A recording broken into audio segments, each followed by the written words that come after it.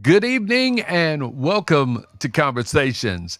I'm Professor Reggie Miles, and we've got a great one for you today. Today is where the old school meets the new school, or I can say where the true school meets the youthful school.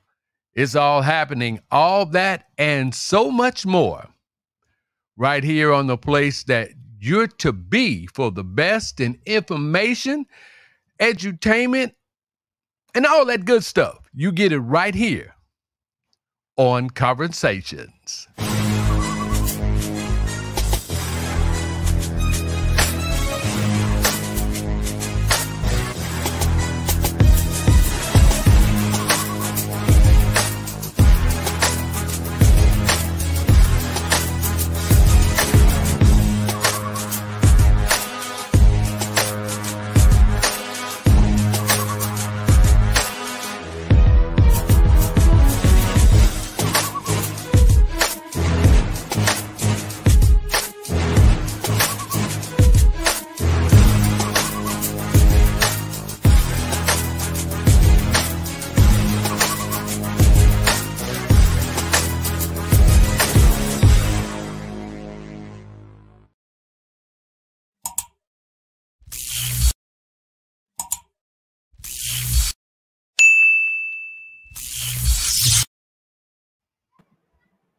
Well, we're back. And my guest for this evening is Mr. Ricky Witherspoon Jr. And you know him as Tall Rick. How are you, hey, sir? Hey, Mr. Reggie Miles, what's happening, man? Well, we made it. we made it. And we've got this thing going, and we've got a lot of stuff to do this evening. We've got to talk about this history, the culture. We've got to talk about your journey. We've got to talk about how you feel about the future and so many more things. And I'm just honored that you allowed me this opportunity to share your story with the world right here on Conversations. Yes, sir. Okay, so as with every question, every time I start, I always ask my guest, what were you doing before the world's largest stepping contest? Well, wow. What was I doing? Depending on the year, if we're talking 1980s, I was still in high school, coming out of high school, going into the United States Navy, Desert Storm veteran, getting out of the Navy. Uh, I went into my job in my field of working on uh, Metra and Amtrak trains as a mechanic. Unfortunately, I hurt my back and had to pick up driving as my job of choice. So uh, that's what I've been doing for the past 20, 25 years. How did you get involved in the social partner dance that's known today as stepping? Man, my mom and dad did it. My uncle and aunties did it. My entire family is somewhat uh, musically inclined, if you will. I played drums. My grandma, she did percussions. Uh, my mom sang and tap dance at Betsy Ross Grammar School on the south side of Chicago. My dad, he bought all types of albums in the 60s and the 70s.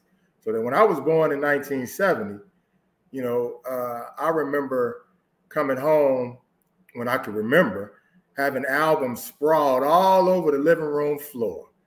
And uh, that was my playpen, to be quite honest. I would go into albums and open the albums up, open the jacket up, and look at the words and the beautiful pictures. And, you know, my dad had a nice component set and reel to reel, and I had my headphones, and I would don the headphones and just listen to music. I wasn't really into cartoons uh, back then. I was more into music, believe it or not. Wow. Wow. So you went from cartoons to the dance floor? so my mom danced with me a lot. Again, she uh she did uh, tap dance, and I know my, my granddad paid her to dance for his friends because she learned all the dances off American Bandstand. Mm. She did all the dances off American Bandstand in the 60s. Mm-hmm. And uh, she took that into the sock hops and learning later how to bop as a teenager at Dunbar High School. And, and uh, from there, you know, she went to all the clubs like Times Square, Guys and Dolls, and, you know, a host of Dashiki, she told me, and a host of others. She knew Tyrone Wallace, VA, Cynthia Shanks. We knew the Shanks family, you know. So yeah, man, I, I got it honestly. Wow. Wow. So your first experience, and that's like the same thing with me. I got my first experience uh, with my mother as well, uh, teaching me some of the dance. So we can say that your fundamental foundation was given to you by family? That, as well as my grandma, who is 96 years old, uh, she has been a devout, sanctified Pentecostal Christian since the day I was born. so when I would visit her, I would have to go to church uh, whenever I spent the night.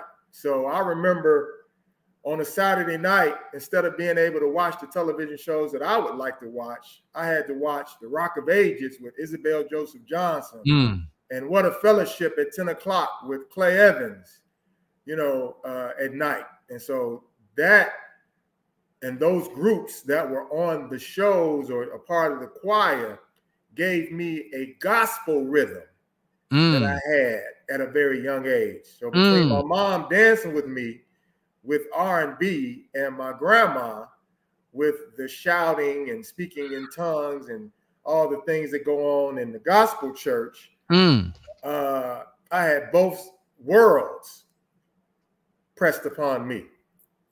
Wow. Yes. Wow. The church and then just being you. So what made you just fall in love? When did you see social partner dancing for yourself? and what made you decide what inspired you to say uh, well yeah this is what i want to do uh, seeing my mom do it at a young age with my dad mm-hmm. or seeing uh, my uncle sylvester baker of the rat pack you know kind of play around a little bit when they had the rent parties and uh, you know the social gatherings uh, picnics and what have you uh, i always knew that i wanted to do it but I thought that it was an old person's dance or an mm. older person's dance. Mm. So straight in when I was in high school, I became a house head, house music head in 1983. But I also roller skated. My mom bought me my first pair of skates at the age of five. They were red, white, and blue. And so she used to take me to, to uh, the rink when it was on 89th and Ashland and Roller Arena on 103rd and the Loop on 95th. Uh, so, you know, again, it it's music has been a part of my life since, you know, I was a little boy, real young. So it's the music. It's definitely the music. That's my foundation. Okay, that's that's integral in doing this. And we're gonna talk about, you know, the intricacies of the social partner dance. We're definitely going to do this. My guest is Tall Rick and so glad that all of you are joining in on this second conversations. Uh, this has been the second one that I've done in the last six months. And again, Rick, I'm so glad to have you. And man, I'm glad we, for the invite, sir. We got so much, we got so much in common. Uh, both being, you know, having our first experience with family and then mother and then going to the church. Now, you know, I was a drummer too, Rick. Okay. I was I played the drums myself. So I'm figuring out, I'm trying to figure out. I said, wow, I'm saying asking myself, why do I really like this dude's style? So now you're laying it out, and I'm figuring that we've been, you know, I'm seeing that we've been walking like a similar trail, not the same trail, but right. a similar trail. And, and I really appreciate that. Mm-hmm. And then mm-hmm. I would be remiss if I didn't tell, if I didn't tell uh, our listening audience right now, if I didn't tell the people that one of the reasons why uh, this is uh, old school meets new school is because your dance, my brother, your dance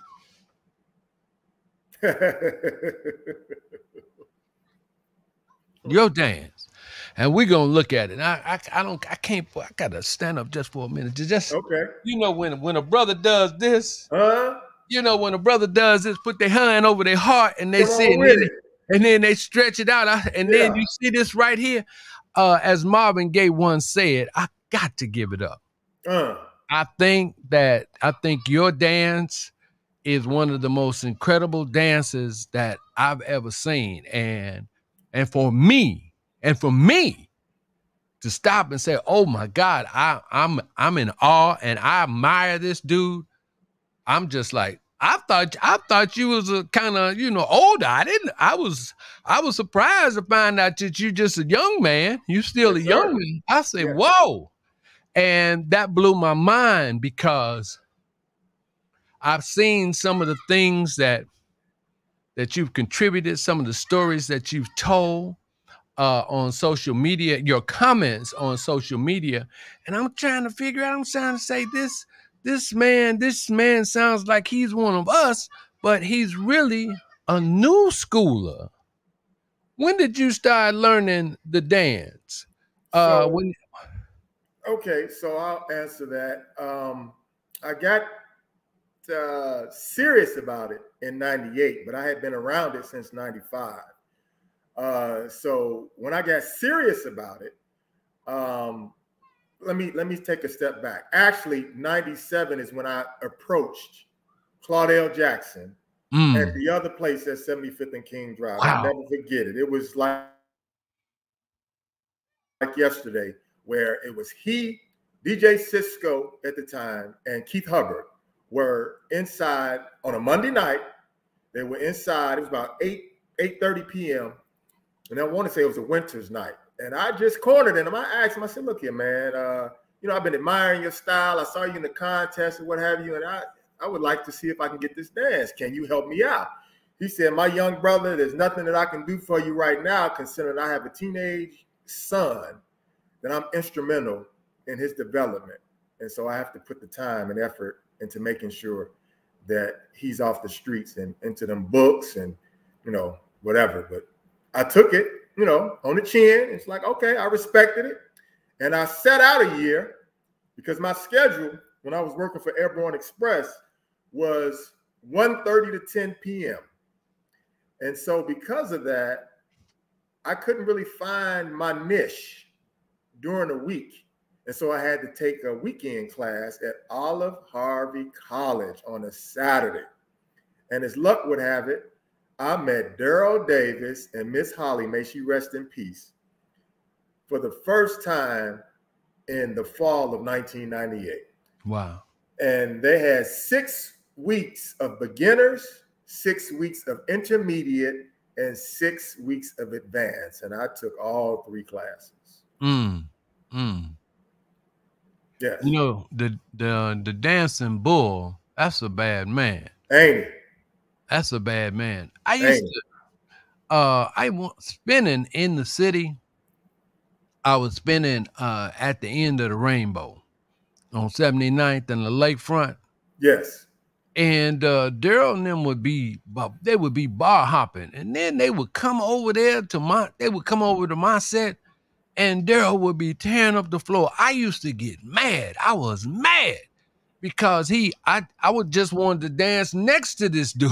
you know, he got that magnetic man. man I just wanted about his dance, man. And I just wanted to dance next to this dude, and we messed around and started uh, getting in the place where the owner literally had to put us out because wow. folks we we just kept dancing. But that's the story I tell about Daryl all the time. You know, you got a lot of people chiming in. Uh, let's see. Uh, Jacqueline says hello, and uh, from hey, Cincinnati. Uh, Keela is saying hello, and then Miss Vicky Henning. Hey, Miss Vicky. And uh, uh, Simon Wilkes. My brother Simon. Yeah, and uh, and then Miss uh, Tina uh, Renee Moore saying, "My boy Rick." One of my favorite dancers. And then, oh, now this girl right here. One of my first dancers. man, this woman right here. I mean, hey Danielle, I hope you got that invitation that I sent you. Cause boy, I mean, when I came back on the set, you know, I was like, I was like terrified that, you know, to ask that woman, Danielle, to dance. Was But it a I- culture shock for you, Reggie? yeah, man. I yeah. I mean, cause cause I tell all the I tell all the ladies now that uh I can't step. You know, I always tell them that. I can't Because step. Why do you why do you start? Why do you preface your dance with that statement? Because uh some of the things that I saw with the change that I saw with the change and I, I didn't understand, but I understood. And when I kept hearing that people are talking about counting and you know, I can't I can't function and do two things at the same time. I can't. you know, I can't. Reggie, let me say this before you complete that statement. I'm going to say that with counting, for me, it breaks the chemistry and continuity of the dance if Mm. you're counting while Mm. dancing. Mm. That's just my opinion. Well, you know, and I kind of like I kind of like feel that same way because I'm a rhythm I'm a rhythm dancer. Yes. And um, the first thing that I'm trying to establish, the first thing that I'm feeling is what I feel in your hands. Good point. And if I can find that one, you know, I ain't talking about five, six, seven, eight, one. Uh-huh. I'm talking about if I can, if we can come to that one Yes. while we listening to the music, I know I can go There it is. with her. And uh, most of the women that have, uh, all of them, uh, most of the women that I've danced with, um, uh, that that's under the new school, uh, I've learned to kind of like wait, wait, and then when I see it, then I'll get into it. But basically, I found out that I'm finding out really it's really the same thing. It's just the steps is being manipulated differently by the newer dancers, and so I just have to uh, since I since it's all in my heart. Since it's all manifested in me, since I've had it for like 50 years, Yes, I'm on- sir. I'm gonna adjust. you know, I'm gonna adjust. I adjust yes. just, just to dance and then i'm satisfied if i if a woman smiles with me when we dance then i'm cool you know if she don't smile then then i know i messed up i won't i won't ask her to dance again Man, I don't know about that, Reggie, because I'm gonna tell you. When I first danced with Tina, when I first danced with Charnice, they were stoic in their face. There was no instant gratification whatsoever Hmm. when it came to dancing, but I felt it in the hands. The yeah well is an unspoken language, man. well yeah know you it you feel it. You right and i agree 100% but you tall rick man i'm short reggie But You- I ain't always been tall, Rick, man. I just been plain old Rick trying to learn to dance. That's right. Uh, we got one of the greats that's on the line, uh, Mr. Keith Hubbard. We want to reach out to Keith. I got to get him back so he yes, can sir. so he can talk because uh, That that's the best man in my wedding, man. We go we go back. Yeah that's that's the navigator. You know, Yes, I I saw him. Uh, I hadn't seen Keith in about twenty years, twenty five years, and it was like. Uh, when I, I saw him on stage at Stepaganza in 2018, it was like the prodigal son. I was running to my brother, man. Just- just- you know, when the prodigal son messed up, right? And his dad or way in the distance. Right, And then when he saw he come saw saw the son coming home, the father started running towards him. you know, Yes, when I saw Keith, I, I started running towards him, man, and we just hugged, and it was it It's was just man. It's, it's a Yeah. love, man. Yeah. Okay, so we we've had our little preliminaries, okay, and I'm glad that we've had this time to, you know, just exchange some things on the lighter side. So let's get into it and let's let's get a let's get a little more I add some more depth. I'm gonna pull up some things um and let's let's discuss this. Okay, good. We can start off with this and I'm going to shift and bring this over and you take a look at it. The music won't be playing. I hope it's not playing. If it is, I'm going to turn it down. But check this out. Oh. oh, let me turn that music down. Oh. All right, and then let me uh let me bring myself back to the top, you know. Mm-hmm. So, so uh the dance won't be covering me, y'all. it's covering you right now. Yeah. yeah, so I just get that down and just just pull it back. Uh I should come up and there you go. I am. Now, all right. Now, and let me make this just a little bit bigger, okay? All right. Let me, let me put that up there and bring it down here like that. I'm doing this while I'm telling you. Now I'm switching it. There it is. There it is. Okay, so and let me make sure that is I'm gonna loop it and play it again. All right. Uh, so we can just sit here and we could talk about this. And let me make sure I okay, good. It's looped. So we're ready. All right. Now, this is now this is what I know of as our version of what they call the get down. All right. Uh this is what they call today the get down, but this is our version, and this was always done off a jazz type tune. Mm-hmm. And people would just come up there and we just start clowning. I mean, we just having some fun. And I saw a comment that first uh attached me to you. I saw a comment that's on Danielle, and I forgot to write it down. I thought I did, but it was on Danielle's post because this is Danielle's video. And when I saw what you said, and it said something like this if if you can't see what these people are doing here, you have no concept, you have no idea of what's really going on with it. Can you elaborate your feelings on this style of dancing, uh, on on this uh, tradition uh, from the elders that you see? Well, for me, it's pure excitement. It's it's art personified.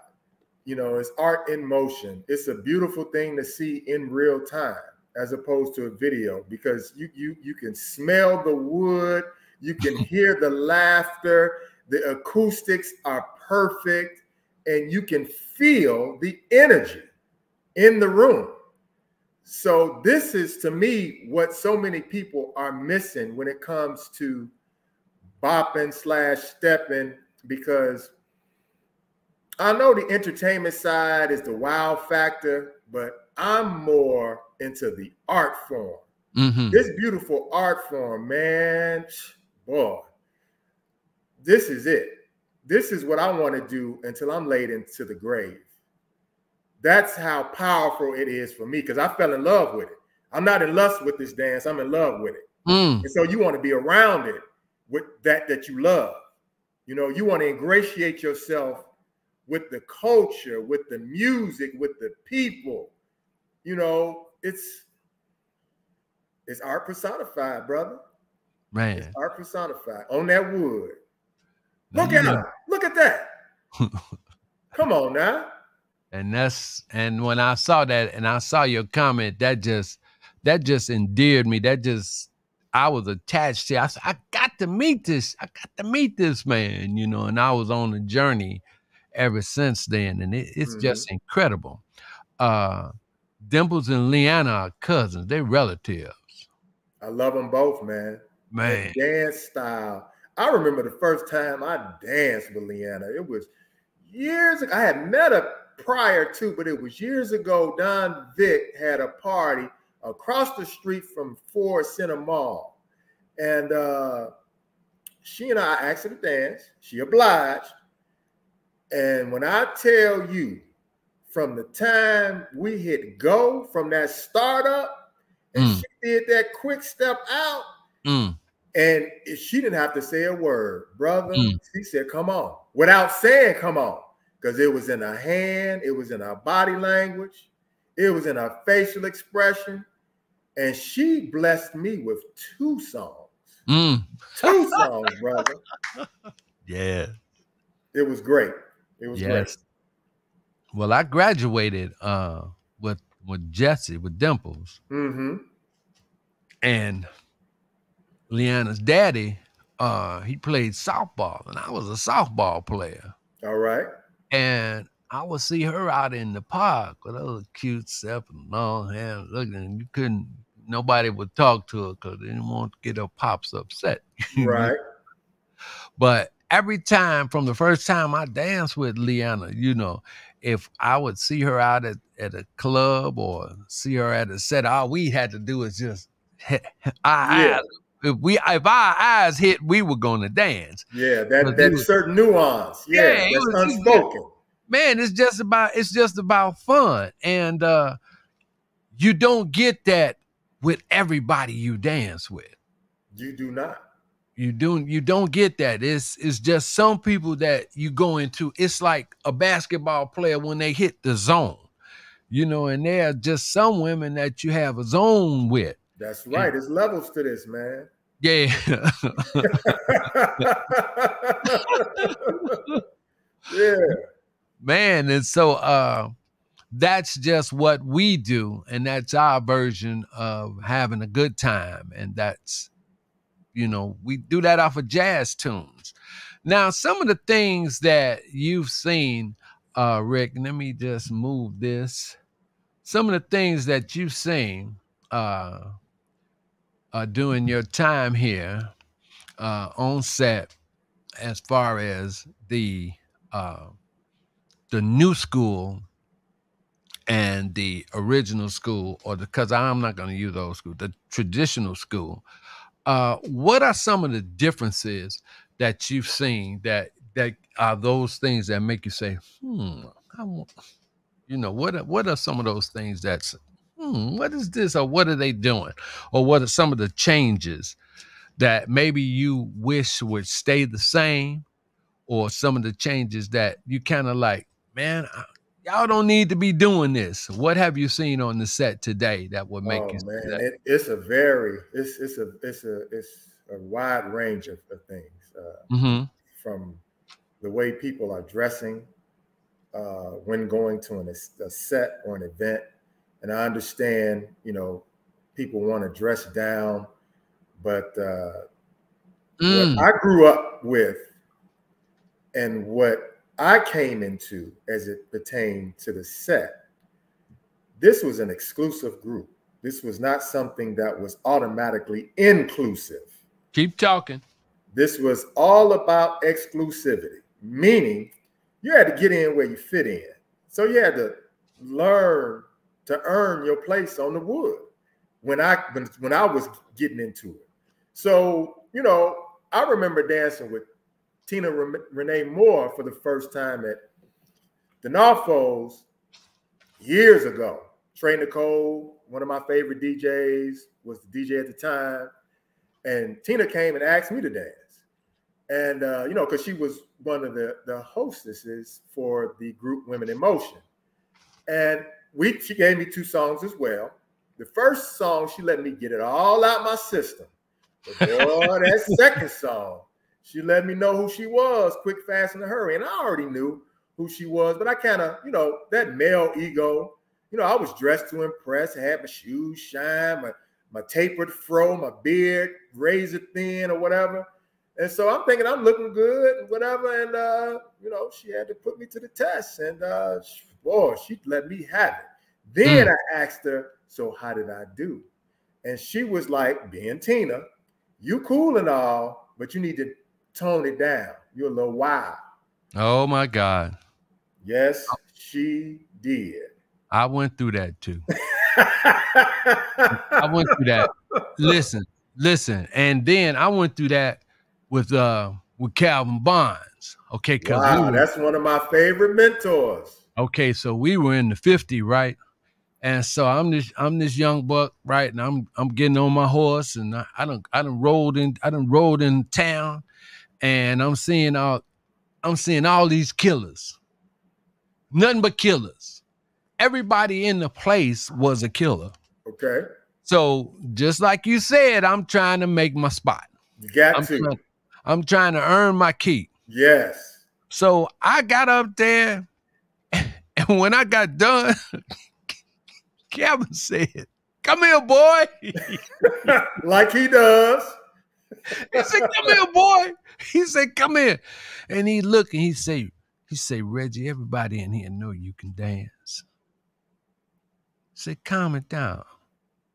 Less is more. Stay in your spot. That's profound. Less is more. That is profound.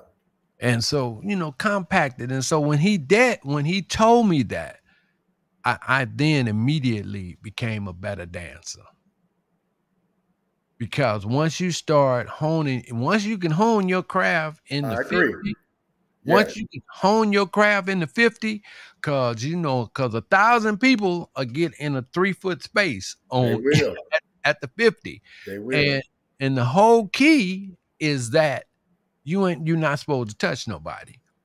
And you're not supposed to violate nobody else. No kicking, no elbows, you know. And sometimes I just don't see that in today's culture with the dance. Sometimes well, that I, is lacking, Reggie, between that and just a host of other things in the dance style formation. Mm-hmm. The dance style formation is a bit more busier up top and less down low.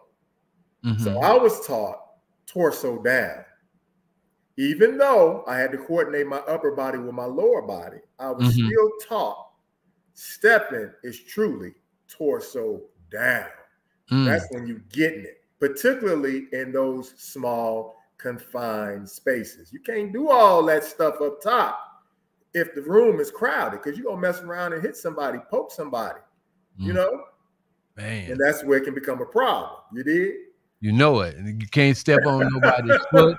And, and, it, it got so it got so confusing for me um, uh, coming out in my second iteration. Uh, I stopped. If I would see somebody and I know that they were, you know, strict on the new school and stuff like that, I went to the other side of the floor. Mm-hmm. I would I would definitely get out their way. I'll give them respect. You dance and do what you want because I'm I'm trying to, you know, I'm trying to romance the dance. And I don't want to have radar, you know. Yes. You know, I don't want to be deal, dealing with no radar, yes. trying to focus on uh, being with this woman on the dance floor, on this wood, trying to trying to uh, create art between us. You understand? You said some great things you said some great things. And so you said, and I need you to talk about this. You said the pattern can be manipulated, but not changed. And I stand on that because when you start to manipulate the pattern, you're just using improvisational skills to your advantage. So there's a difference between a beat and the rhythm. The beat and the rhythm is not the same when it comes to the song. The beat is the heartbeat, where there's the rhythm is everything in between. Mm. And so that's what true dancers tend to focus in on. At least I do as a dancer. And most of the women or female dancers that I admire and that I dance with, they focus on the rhythm. The beat is always going to be constant, but that rhythm can change and so you have to change and adjust with the rhythm. So manipulation within the pattern is a great thing. Changing the pattern mm. is what I I can't I can't put a stamp on that. I can't co-sign that. I I would resent someone trying to change the pattern because if you're changing the pattern, don't call it stepping. Get mm. out the way. We, you ain't stepping, bro. You ain't stepping, mm. sis when you're doing all that, it's, it's, it's what's way over the top. It's over my head. We're going to keep it at the word manipulating the pattern. Mm. The phrase manipulating the pattern, the word manipulation, that's mm-hmm. where we're going to leave it. Because changing it is something totally different. Wow. Wow. And I've heard, and I, I've heard a lot of people, you know, coming through with a whole lot of different things. Let me make myself a little bigger. All right, there you go. Now, I've heard a whole lot of things about what people have been doing, and I've seen, um, and this is not to criticize, you know, enjoy your dance and dance the way you um Uh, they dance the way you you feel comfortable, but enjoy yourself. The bottom line is for you to enjoy yourself. But I, I just want to recommend to everybody to um, search the dance a little bit more. Uh, search the dance, search where the dance came from, because it's it's not like being in a disco where everybody can, you know, have their say and do what they want to do on the floor. It's it, it's a little bit more coordinated because we all have to think of the same mind to allow everybody to have fun on the floor. You know, now, we Reggie, does that mean then? And I hate to cut you off. Go ahead.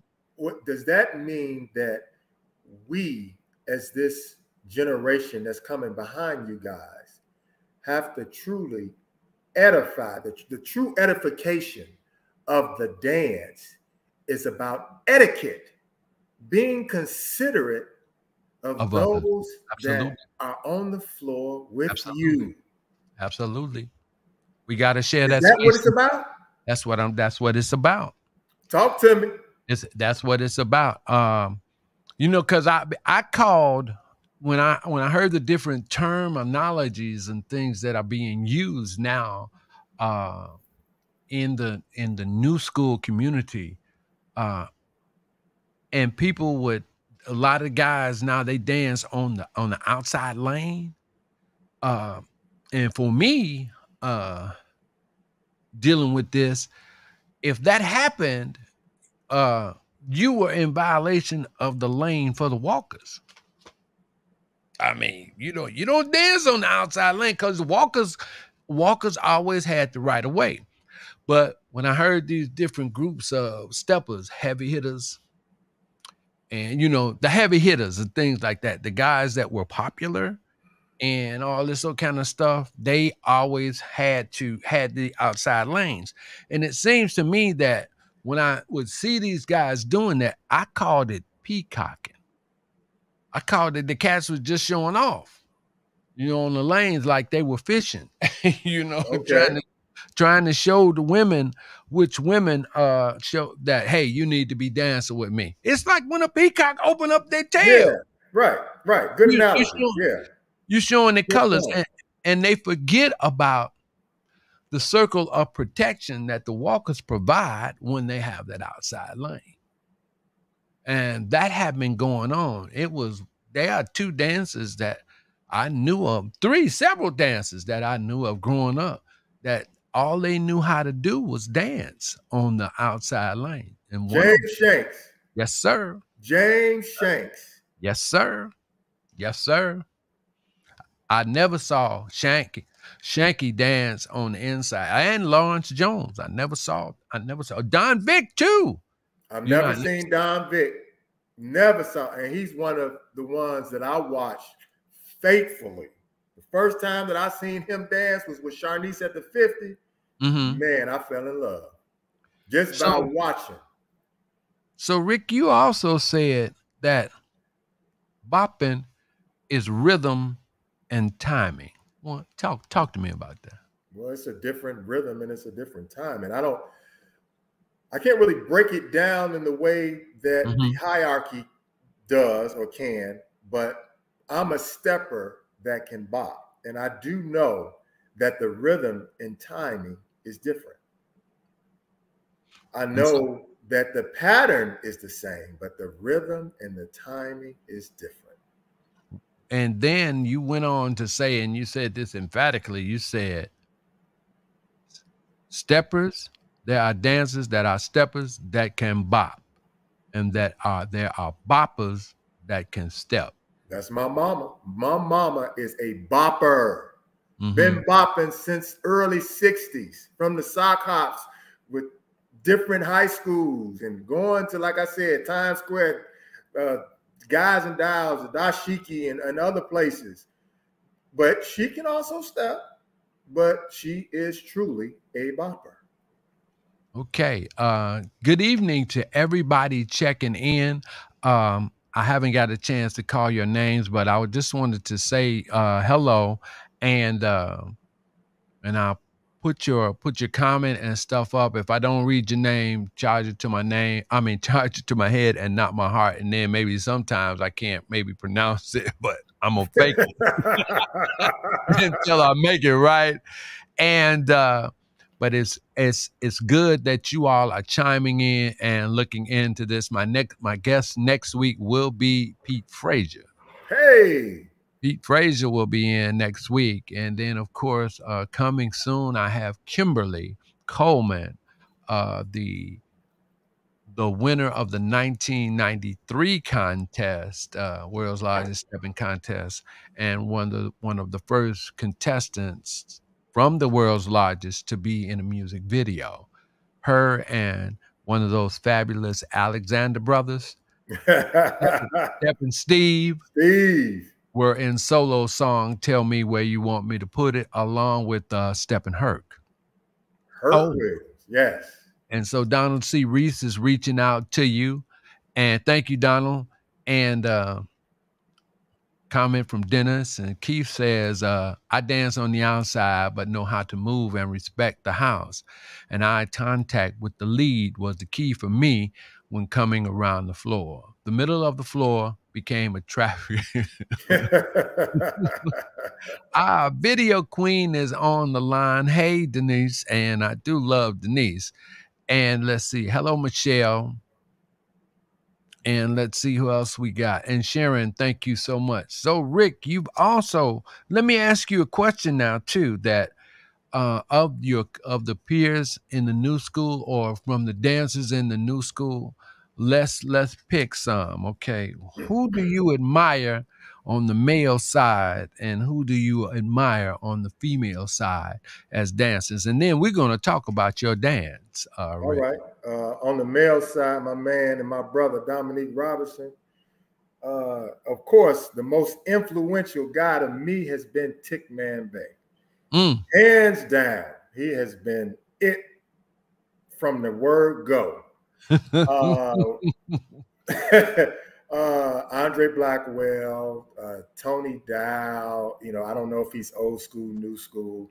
Uh, Royce Banks. You know, I don't know Randy. I don't know if they're old school, new school, but these are the cats that I watched.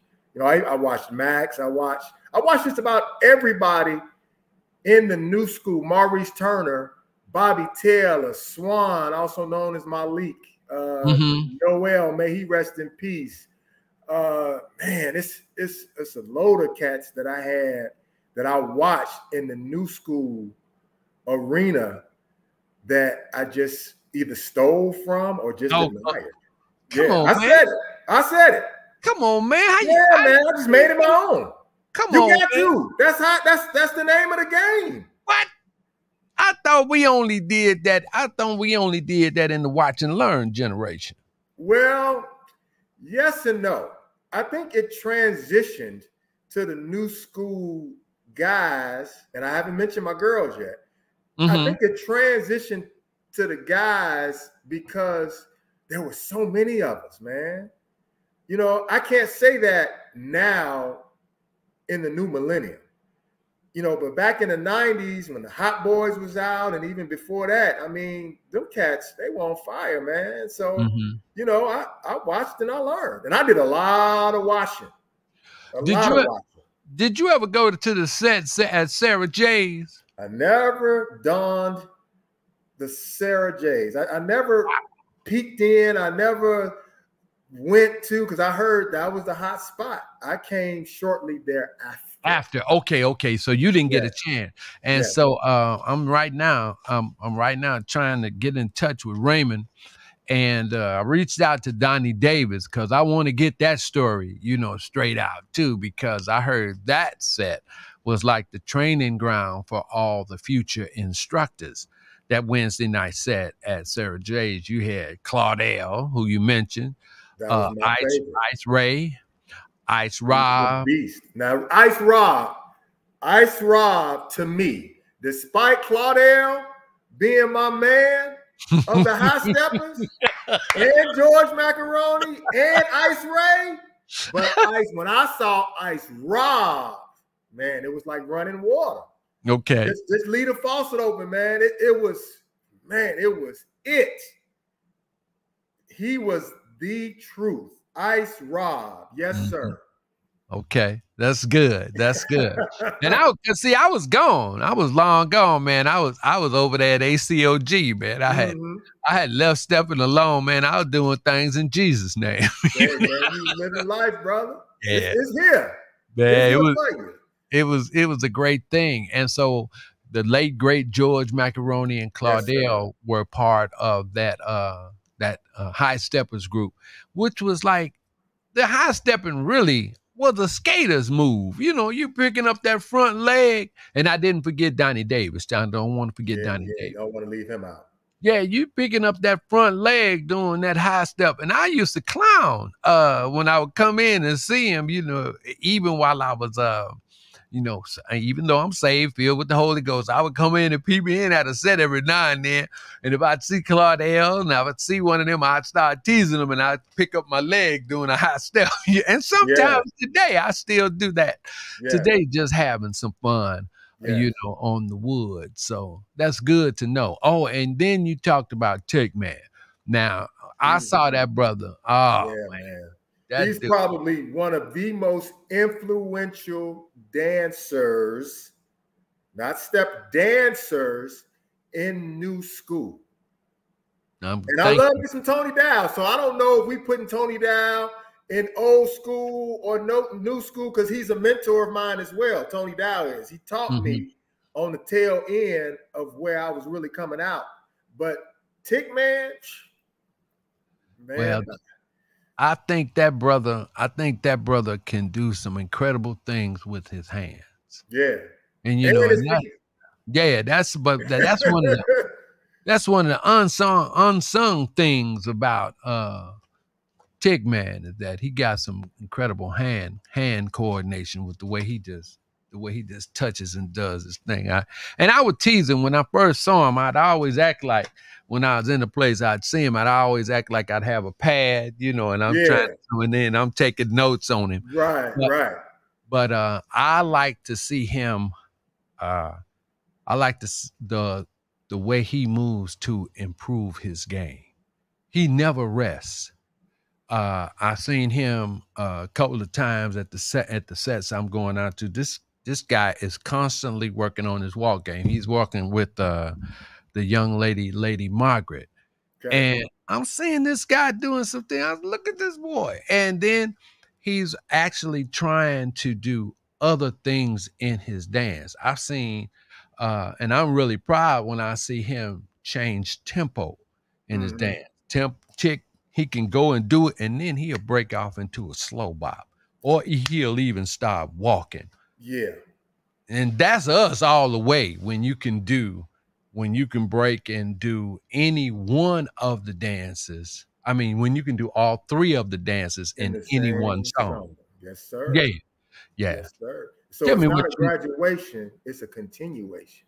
Mm. You did? Mm. Yeah, mm. I give you that one. Yeah, I mm. give you that. Yeah, not a graduation, it's a continuing. I'm gonna tell you, I'm I'm one of the next culture shocks for me was uh every time you look around, it's just stepping, stepping, stepping, stepping, stepping, stepping, stepping. And like ain't nobody walking. And I'm like, I mean, I'm like, uh, what you talking about? Because walking was out here first. And I'm trying to figure out what you talking, what's going on here. And why does the walk why was walking? Why did that have to be buried? I mean, I heard, man, I heard stories like, uh, nobody, you know, you it's an intimate dance and all that. I heard all kinds of excuses not to walk, and I heard nothing about the reasons for walking. Angie Fain is saying hi to Rick and Reggie Miles.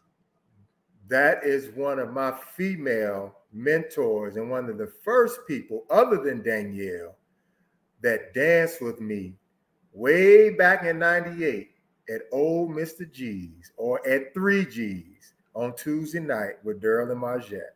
Mm. Between her and Danielle, they were the only two that would dance with me. Well, yes. you talk about the ladies. Some, some, who were some of the best ladies? Well, not best, but who were some so great? We're talking old school, We're talking new school. Both.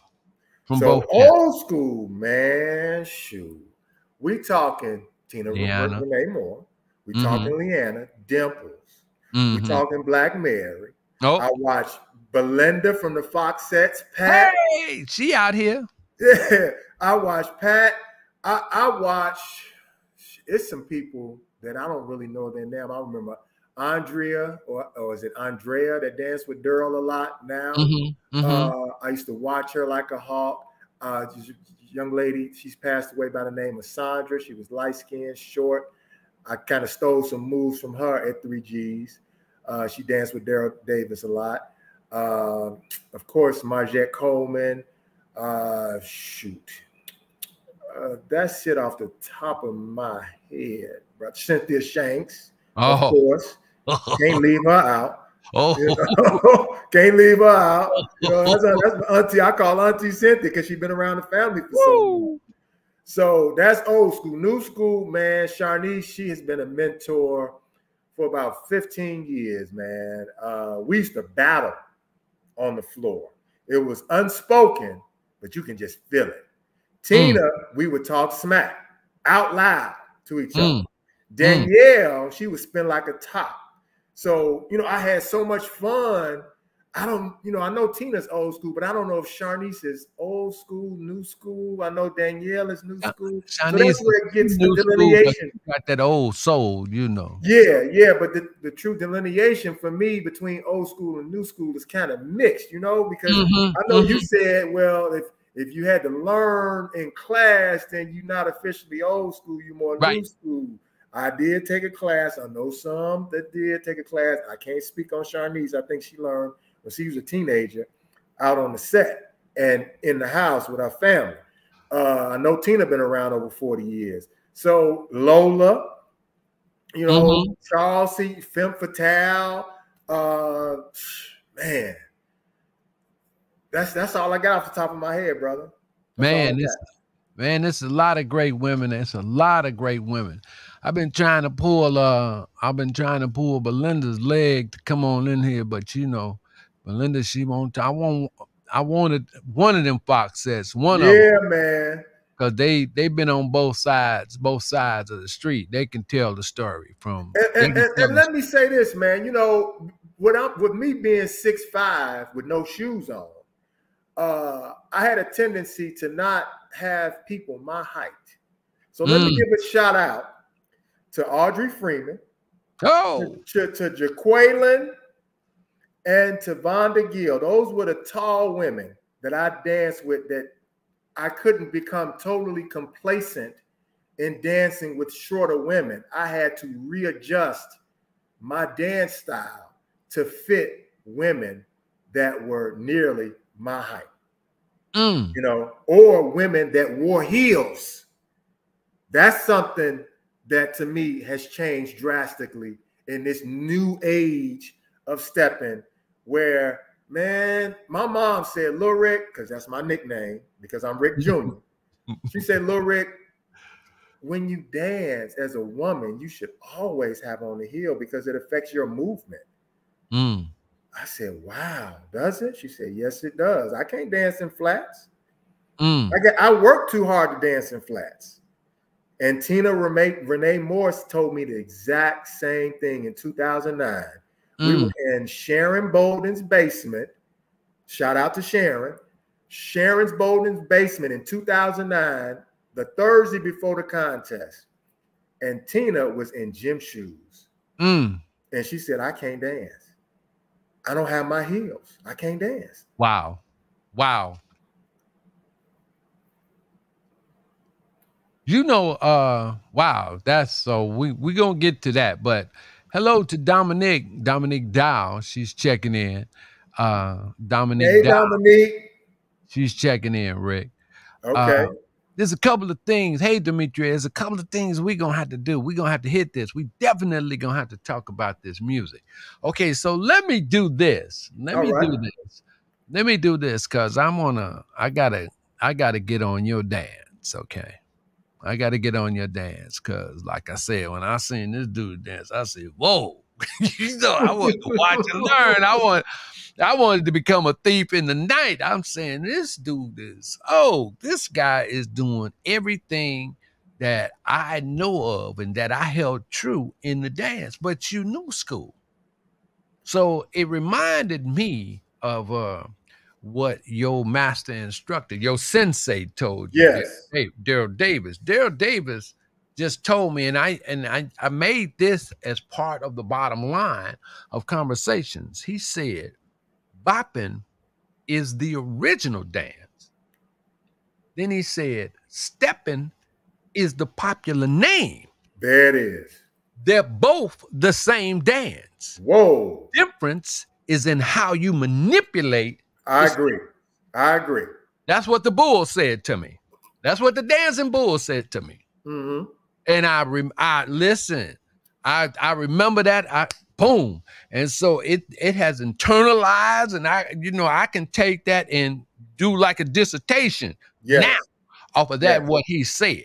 Yes. So that went in that went into my professor, you know, into my professor gears, you know, and I can handle that.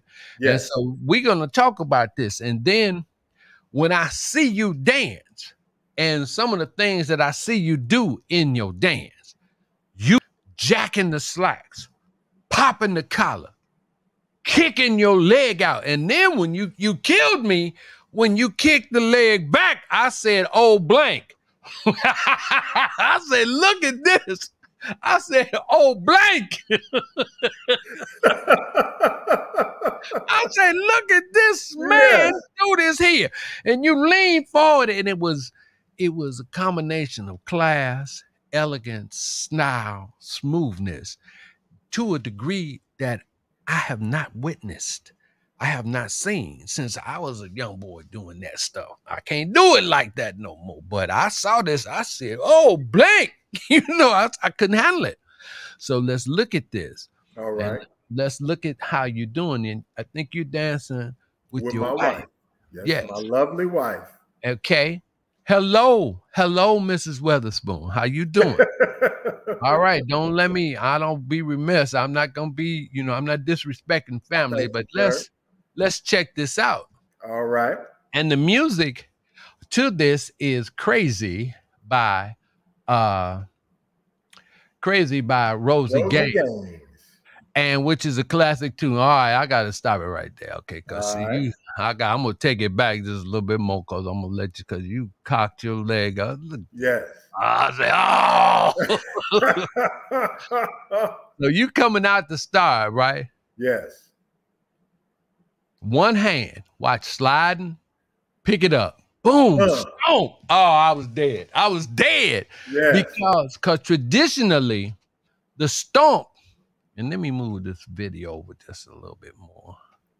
Okay, the stomp because listen, the dance is really uh historically with uh black men and dancing. There were only two times that we danced. When we were going to war and in courtship. All right.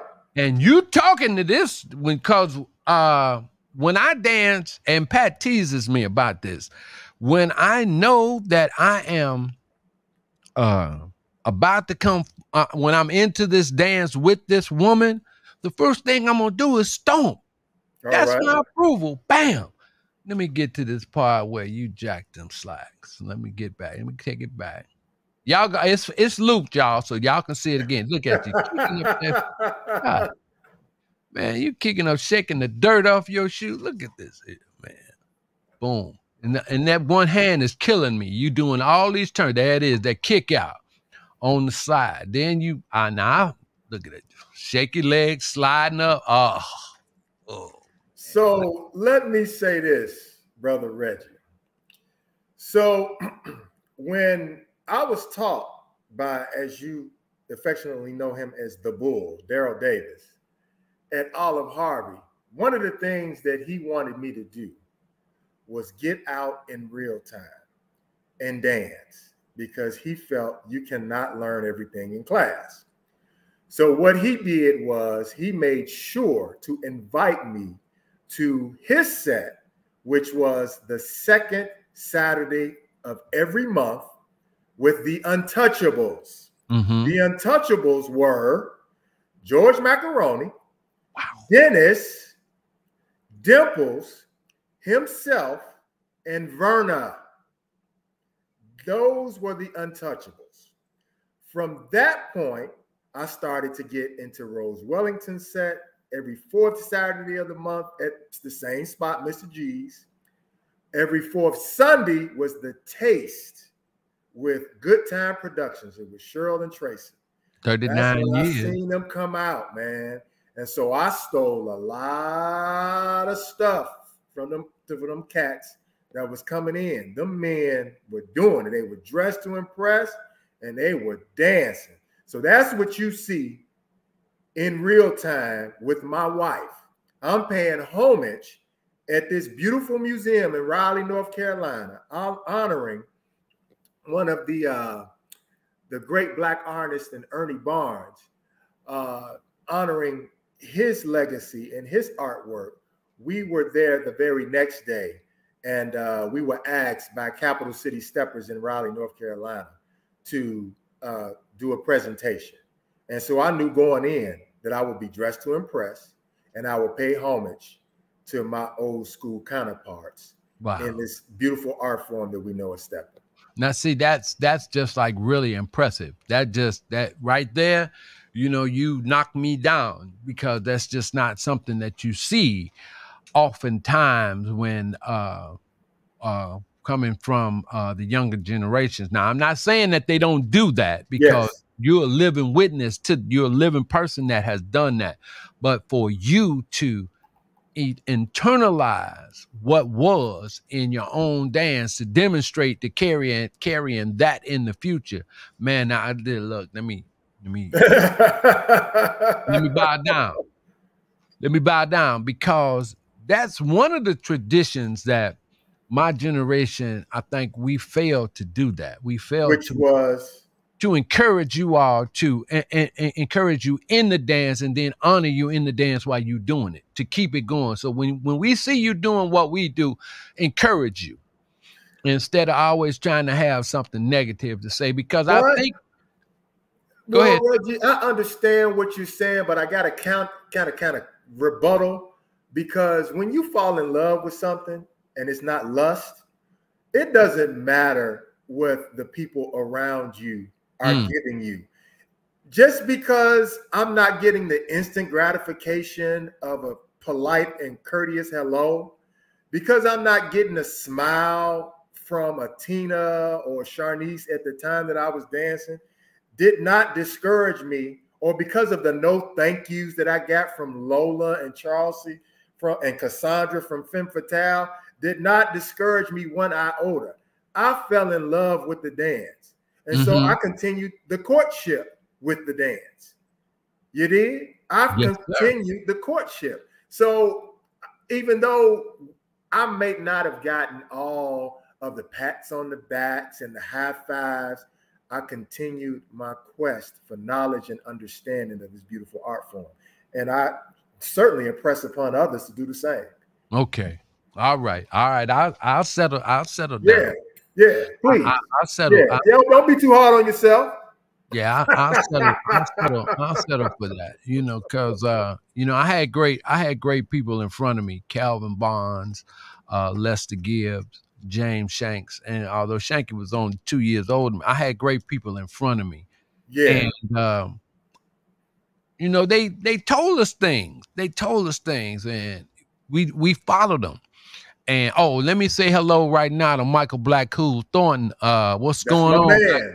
Yes, sir. What's going on, Black Cool? We acknowledging you this evening, and uh, from Texas.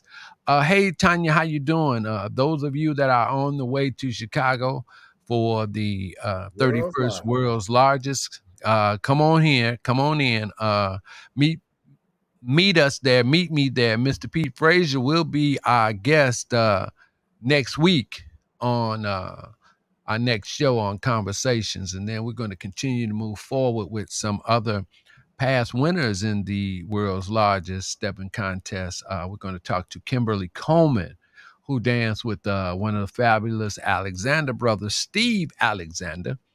And um, and they were in the first video by Solo called uh, Tell Me where you want me to put it. And so we're going to talk to her about that experience. Yes. Okay, Belinda says, say it come for the love of the dance. That's good. There it is. That part. You're getting a lot. And uh Rick, you was dancing with somebody at uh three G's, and you're getting this. Let me see.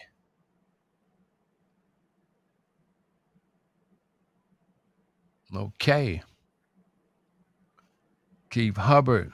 I'm looking, just running through. Thank you, uh, Black Cool. And we're gonna we're gonna do this. But this happens because conversations, conversations is an oral history project. It's an oral history project. You'll be able to go back and look at this, and you will hear different viewpoints from the guest. Okay. You know, you'll hear different viewpoints from the guests and then you can start formulating and you can, can begin to see uh, this history and how we did it and how we used to do it you know on your own so Okay. and that's what this is all about because chronicle. Yeah, it's a good chronicle. Yes. yeah that's all that's all Yeah. this is that's all this is the best things in life are free so i'm i'm laying it out for you and it'll be here on youtube i got i got uh 10,000 11,000 people following me right now. And so we want to keep this going.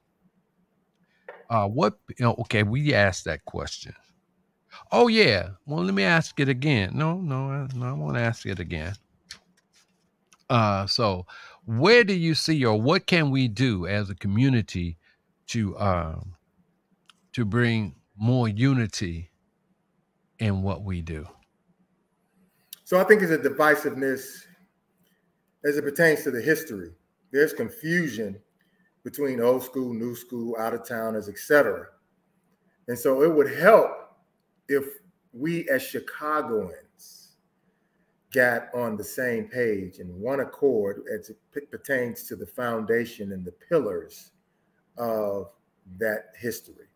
Just like the Bible that has so many different stories, so many different books in the New Testament, yet they all come to the same conclusion that Jesus was crucified and that he rose again after the third day. You did?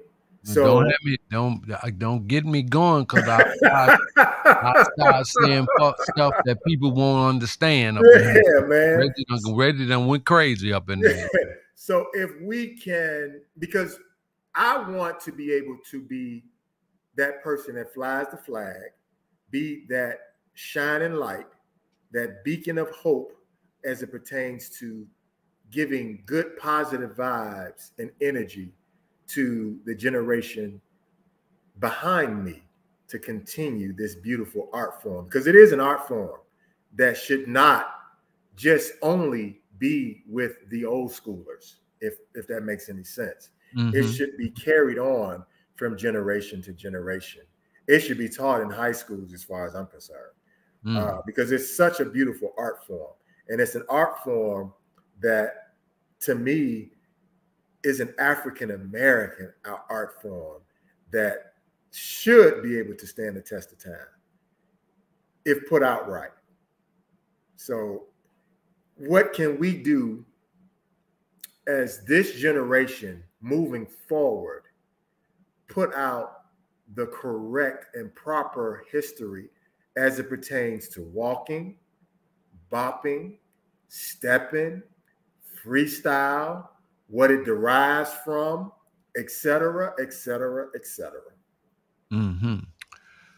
I did. Uh, I have started, you know, putting the eras together, and uh, one of the one of the things that I want to do is to uh, move this toward some scholarly study Okay. you know, as well. And um, because one of the things that, um, even though people want to dance, they want to have fun, and they want to be competitive with that, it is an art form, and it Say it is, again. and it is something that got us through. Dancing helped us to survive many things. You know, part of us For living. centuries. Yeah, I mean, yes, for centuries, because they For forced us. They forced us to dance. Yes, sir. But then when we start started dancing, um, I think one of the greatest tests was during the Depression, uh, when the rent parties Yes. started, and people, you know, in their homes would modify certain parts of their house, their basements and stuff like that, turn them into little lounges, especially Okay. in in this town in Chicago. That's how families were, were making extra money or whatever. And the dance, um, for me, the best part was that we were able to then lean on one another. You know, as we go through the pressures of this thing called life. You know, because in the early times of the dance now, uh, during after the depression, you know, we didn't have the great jobs. We weren't aircraft, you know, we weren't pilots, stewardess, and firemen. We weren't, we didn't have those prestigious jobs. We had, we were janitors, doormen. You know, Bus we had, yeah, we, Porters. Yeah, we had the menial jobs, right? And on the weekends, on Friday and Saturday, we would come together to lift each other's spirit. Amen. We've lost a lot of the spirit of us being a family as people. We've lost that due to the competitiveness, the expansion, a whole lot of things. So, Ego. yeah, well, that's the big part. That's the big part. And uh, because there is a difference, there is a difference in social dancing and competitive dancing. And let me ask, let me ask you a question. Yes. Have you have you competed in a contest before? Never. Never. It's never been my forte. It has never been in my spirit when I learned this dance to ever compete. Although Daryl asked me politely if I wanted to compete, I politely told him no. LC Henderson, my second instructor, asked me if I wanted to compete. I politely told him no. Tony Dow asked me if I wanted to compete in the basement of his home, and I politely told him no. It has never been a thing for me. I never approached the dance from the side of competition. Mm, I mm, always approached the dance as a student. mm. This is truth to power. I've always, because of the music that I Ah, listened to when I was a kid, from the gospel to the R&B to the house music to the jazz, I have a plethora of music at my disposal and in my spirit. And so when I would roller skate on the skate floor, or when I would dance at house music parties, or when I started to learn stepping, I just pulled from our resources what I had at my disposal, mm-hmm. which was all the music from a little boy, from my mama dancing with me, you know, from the roller skating rink and funk music and all that stuff. And, you know, it was, I just pulled it all out. And so dancing on a stage where people are critiquing me in such a way where I'm being judged, I didn't want no part of it. Mm. Whew. So, you know, through all of that, you know, and me talking with you and me knowing some other great people, I have come to the conclusion that some of the greatest dancers have never been in the contest. There it is. There it is, brother. Truth to power. Mm, mm, mm.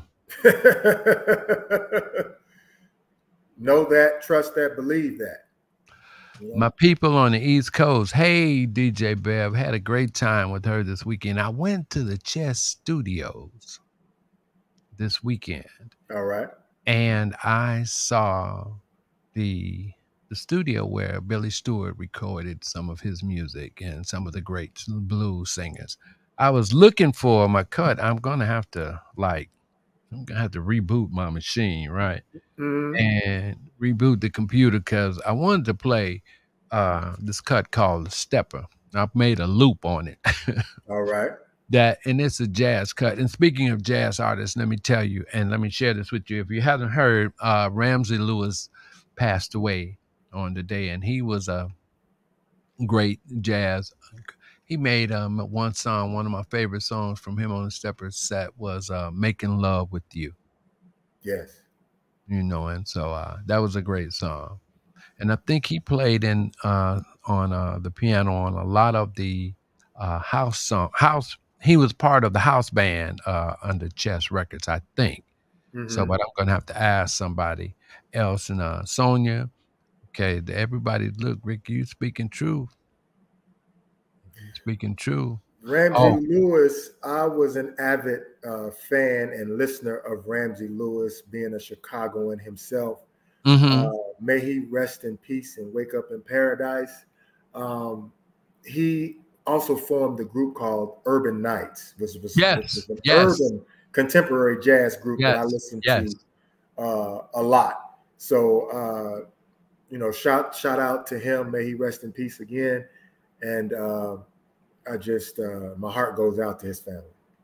Well, you know, uh, uh, our brother John L. Mitchell said, he's quoting you. He said, approach the dance as a student. He said, this brother Rick is dropping some serious quotes. That's Thank you. brother. That's brother John, and uh, he's a member at. Well, he he attends the Apostolic Church of God too. where I was baptized October 4th, 1992. Arthur M. Brazier, may he rest in peace as well. Where I I was baptized November fourth, nineteen ninety four. Arthur M. Brazier.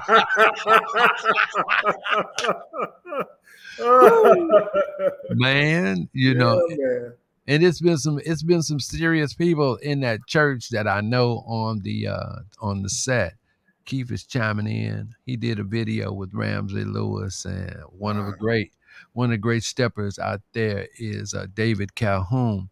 All right, listen, you all need to throw up a couple of questions while we're still. Let's see. We got a few more minutes. Thank you so much for your patience, and thank you so much, Rick, for you spending this time with us. Let me say this, uh, Reggie. Um, I have a friend of mine that lives here by the name of Sharvin Whitted, hmm who came up with a great phrase or quote as it pertains to stepping and learning this art form that we Come use. on, come on. So he's a graphic designer and uh, in advertising. And what he said to me, I use when I'm doing private lessons with uh, males or females alike. And that is when we're using the foundation of music, I also like to put in the parameters of the importance of fundamentals, Mm-hmm. flow, Mm-hmm. and flair. He, Sharvin Whitted, gave me that. Fundamentals, flow, and flair. In that order. Flow, There's fundamentals, fundamentals, First. flow, and flare. Flare. flow, and flair. Okay. And I use that as a uh, teaching mechanism when I'm doing private lessons for anyone that wants to learn.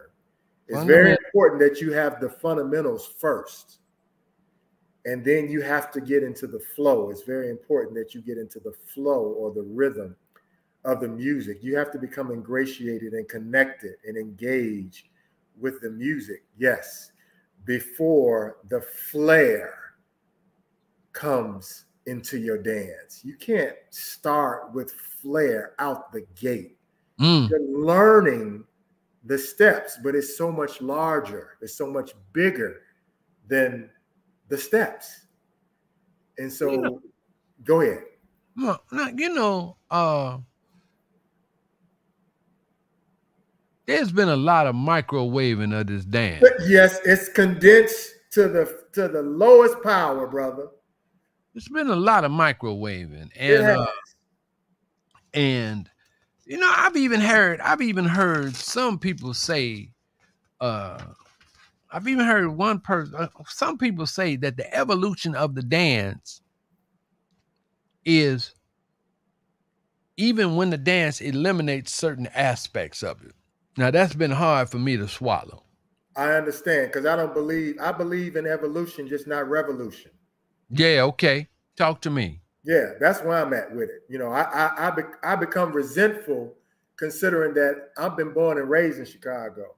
Mm-hmm. so when you mm-hmm. come, whether you are Chicagoan or otherwise, when you come and try to change and rearrange something to best suit you and your city or your dance style, uh, I take offense to it because I put in the work, I put in the time, I put in the effort to do this dance effectively and correctly, which is moving my feet on the male side. These men are getting lazy. I understand why, because there's so many more women, so they don't have to put in the work. But man, come on, if you're gonna do this dance, you got to move your dog on feet, bro. Because it's about timing, it's about rhythm, it's about body positioning, body angling. When I would watch Claudel and his angling with his body, his shoulders, when Daryl taught me it was about mirroring your partner, mm. mirroring your partner. And then I had to learn to follow, not literally, but figuratively, follow what my female counterpart is doing. When I was dancing with Leanne, I had to, I was following despite the push and pull because she was doing something that she has been doing for 50 something years. I'm a young buck, so I have to pay homage and fall back, stand down. I have to let off the accelerator. I can't let my ego get the best of me. I have to pay homage to the people that laid the path before me. This dance is not about me, it's about us. Mm.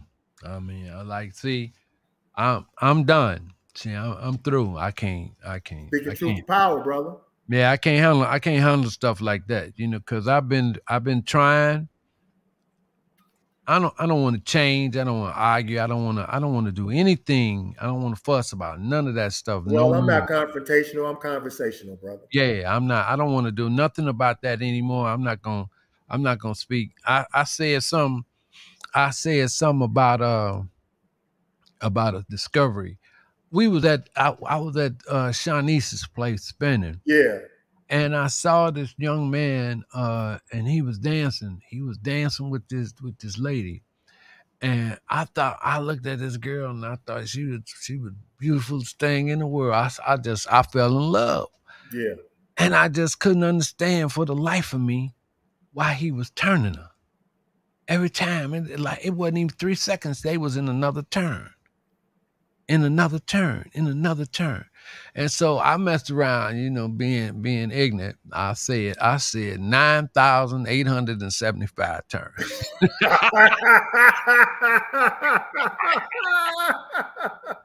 and so it's so it it messed me up so bad, Rick, that I had to play a walk song and I wouldn't dance with that woman. Cause I, I was like, I was like, cause I'm and that's when I said tell ladies uh when I when I, I, tell them I can't step. What I'm really saying is that I can't turn. I understand. I can't turn. You know, I understand. I can't, I can't turn. Point I'm, taken. Point taken. Yes. And so, because a lot of times, uh, the way the dance has moved forward, uh, a lot some some women want to do that, and a lot of women don't want to do that. This is true. You, you know so and i don't push it so when i'm saying to you i said when i t- when i introduce myself and talk and what i'm telling you is that i'm not going to turn you don't expect that from me don't even look and and then uh it's like certain ways that I can move my hands or I'll get ready to move my hand. And the woman is expecting me to do one of the new school moves. And I tell them, I pull them right. Look, I'm not, I'm not doing no new school move.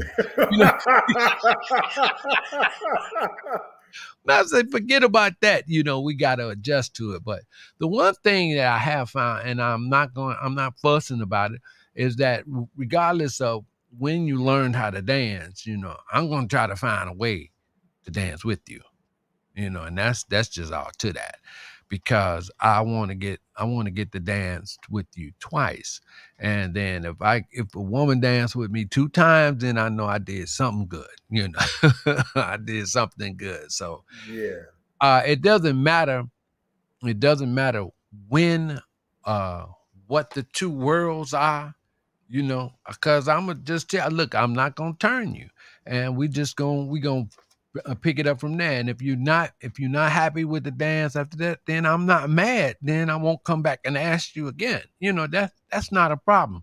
Reggie, Nobody can dance with everybody. Reggie, let me say this, man. Um, you know, my uncle Sylvester Baker challenged me years ago at the 50 yard line with telling me after he saw me sweating, getting off the floor, he said, Mm, mm, Rick, you cool and all, but mm, mm. not a real stepper until you know how to walk. Bingo. And man, when I tell you that was an epiphany for me, and I I really became a student of the dance, particularly as it pertains to walking. I did my due diligence in learning how to walk the right way. And that's not to say that Daryl Davis didn't teach me in class, but I put it on the back burner because it was all about stepping. It was Uh, ego for me. Now, wait, wait a minute. Now, how can I look? You heard what I said, man. I'm, I'm Yeah. speaking truth to power. I'm giving you my experience. So I understand what you where you about to go with this, but I got to give you Ricky Witherspoon Jr., also known as Tall Rick, his experience.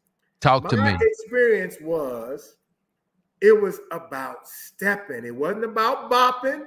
It wasn't about trios. It wasn't about man on man or freestyle or whatever you want to call it. Everything was about stepping, brother. But when he hit me Mhm. with that, it was an epiphany. So I learned how to Mm-hmm. walk. One of my favorite partners at the time, because she was coming from Dre and Company into her own, was Sharon Bolden. So I learned off the cuff by watching Lawrence, the person that you had on last week. He was one of my favorites. He never knew it. But him, Larry Thomas, Isiah Thomas's brother, Yes, sir. Yes, sir. NBA player, Yes, sir. Lawrence, and man, when I tell you, in watching those two fellas walk the floor, Larry and Lawrence, man, for me, it was butter. I said, I got to get this. I got to get this dance. And I stole or tried to steal from them, even to the point that I watched Stan and Cynthia Shanks at a set that they did to include Don Vick at the South Shore Cultural Center on 71st and South Shore Drive. Mm. They did a set there one Friday night, and I watched Stan and Cynthia walk together, and they was walking kind of sort of hesitation off the beat. Woo, baby, it was it for me. So walking is definitely one of my favorite things to do, more than stepping. So uh we got a got a great compliment, uh, Rick. Hey, Rick and Reggie, one of the best cultural historical conversations about dance, bop, freestyle, Chicago stepping that I've heard in a while. Hey, Decida, To God be the glory. Thank you so much. won't he do it? Yeah, so I mean, we we sitting up, we we set up, and we we did this, we set this down, and we're bringing it the way it should be brought. And this is like conversation, no controversy, no debate, you know, just just conversation. We talking about the experiences that each other has had. Let's talk about this music before we get out of here All right. hey you you highlight and you say that music is like really important now what do you mean by that because there's a lot of good music today all right but a lot of the music that i hear today is just about Yeah, I can't. I can understand where you're coming from, Reggie. I just don't agree with a lot of good music today. I don't agree with there's a lot of music today. So Okay. I tend to Mhm. uh, delve into my jazz background and listen to a lot of jazz. Uh, you know, the neo soul is cool, but again, it doesn't really speak to my spirit, to my soul. So to Mhm. me, stepping is lacking soul. So a lot of what you see is robotic and mechanical.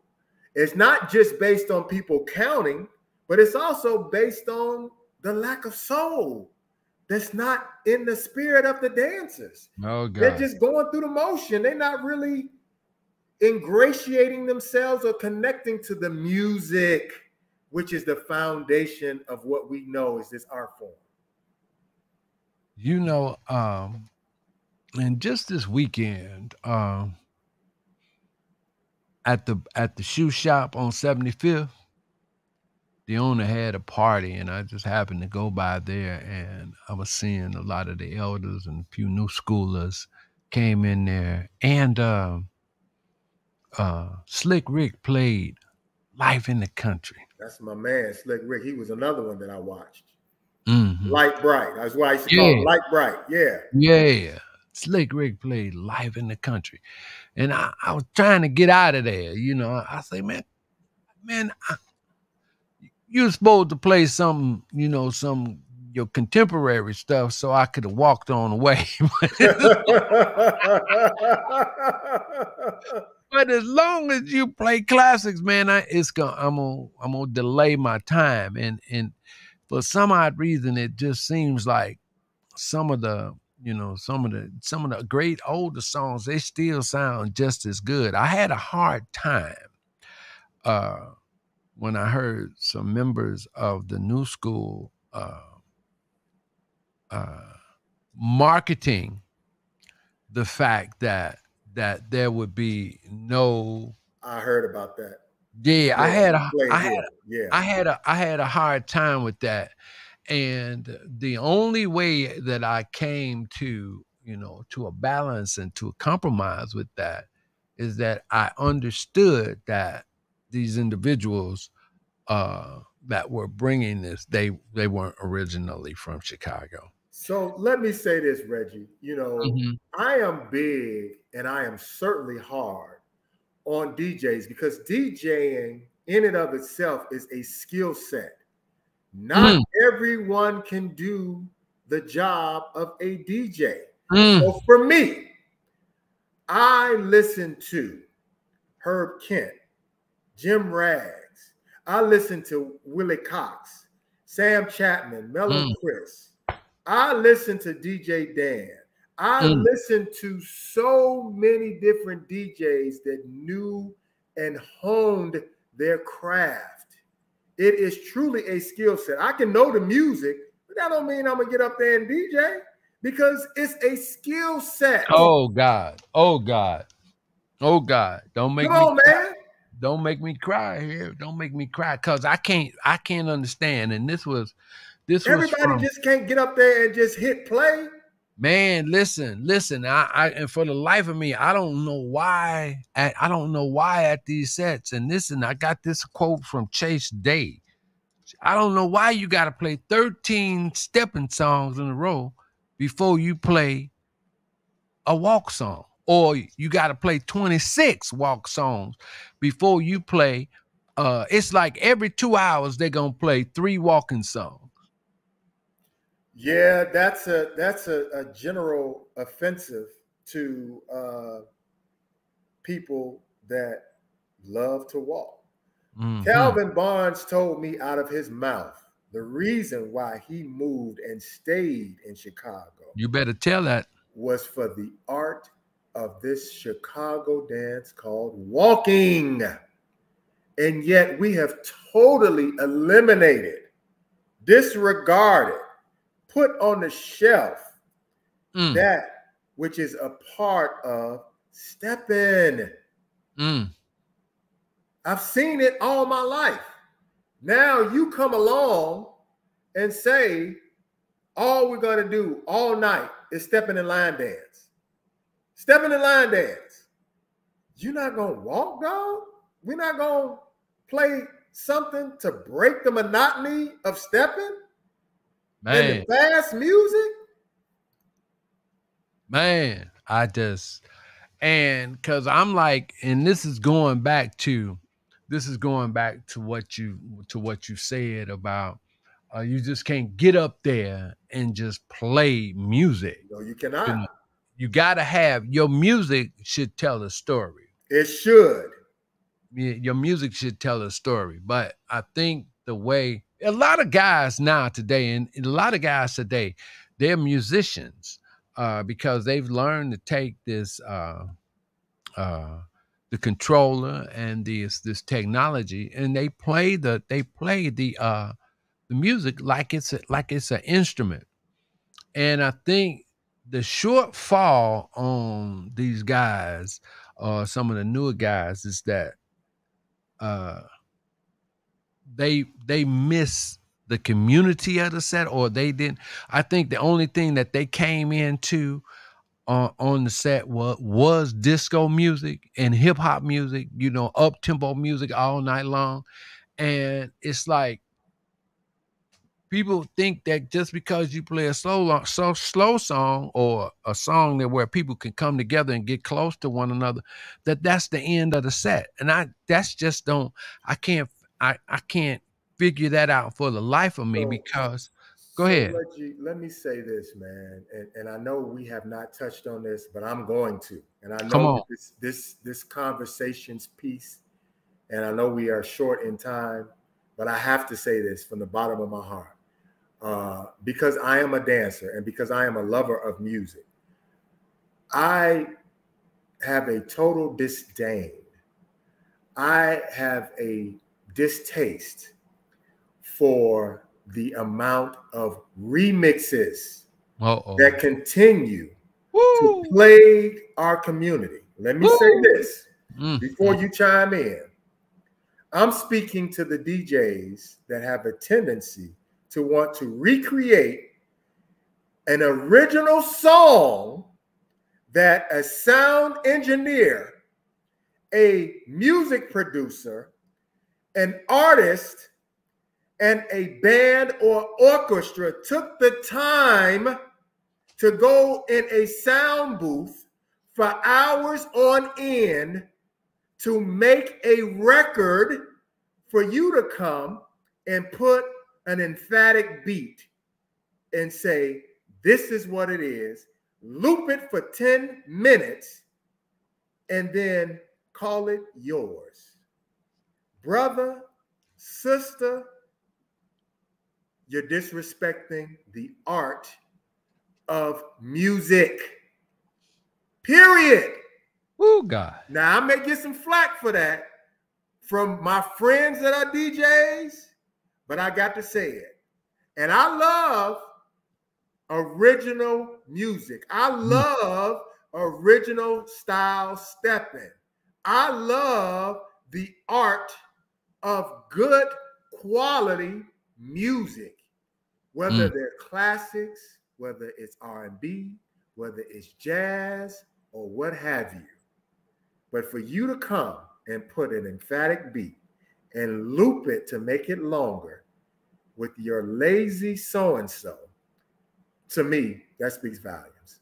Mm, For you as a DJ, go back to the drawing board if you're doing that. man, I ain't. You know, I'm on. I had to say it. I'm sorry.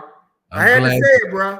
I'm glad you said it because I had I had to leave that one alone because I, I don't I don't want them. They mad at me already, Well, they about to be Mm. mad at me too, bro. And I got friends that are DJs. man. And uh, so Black Cool said it's it's not just the newer DJs doing that.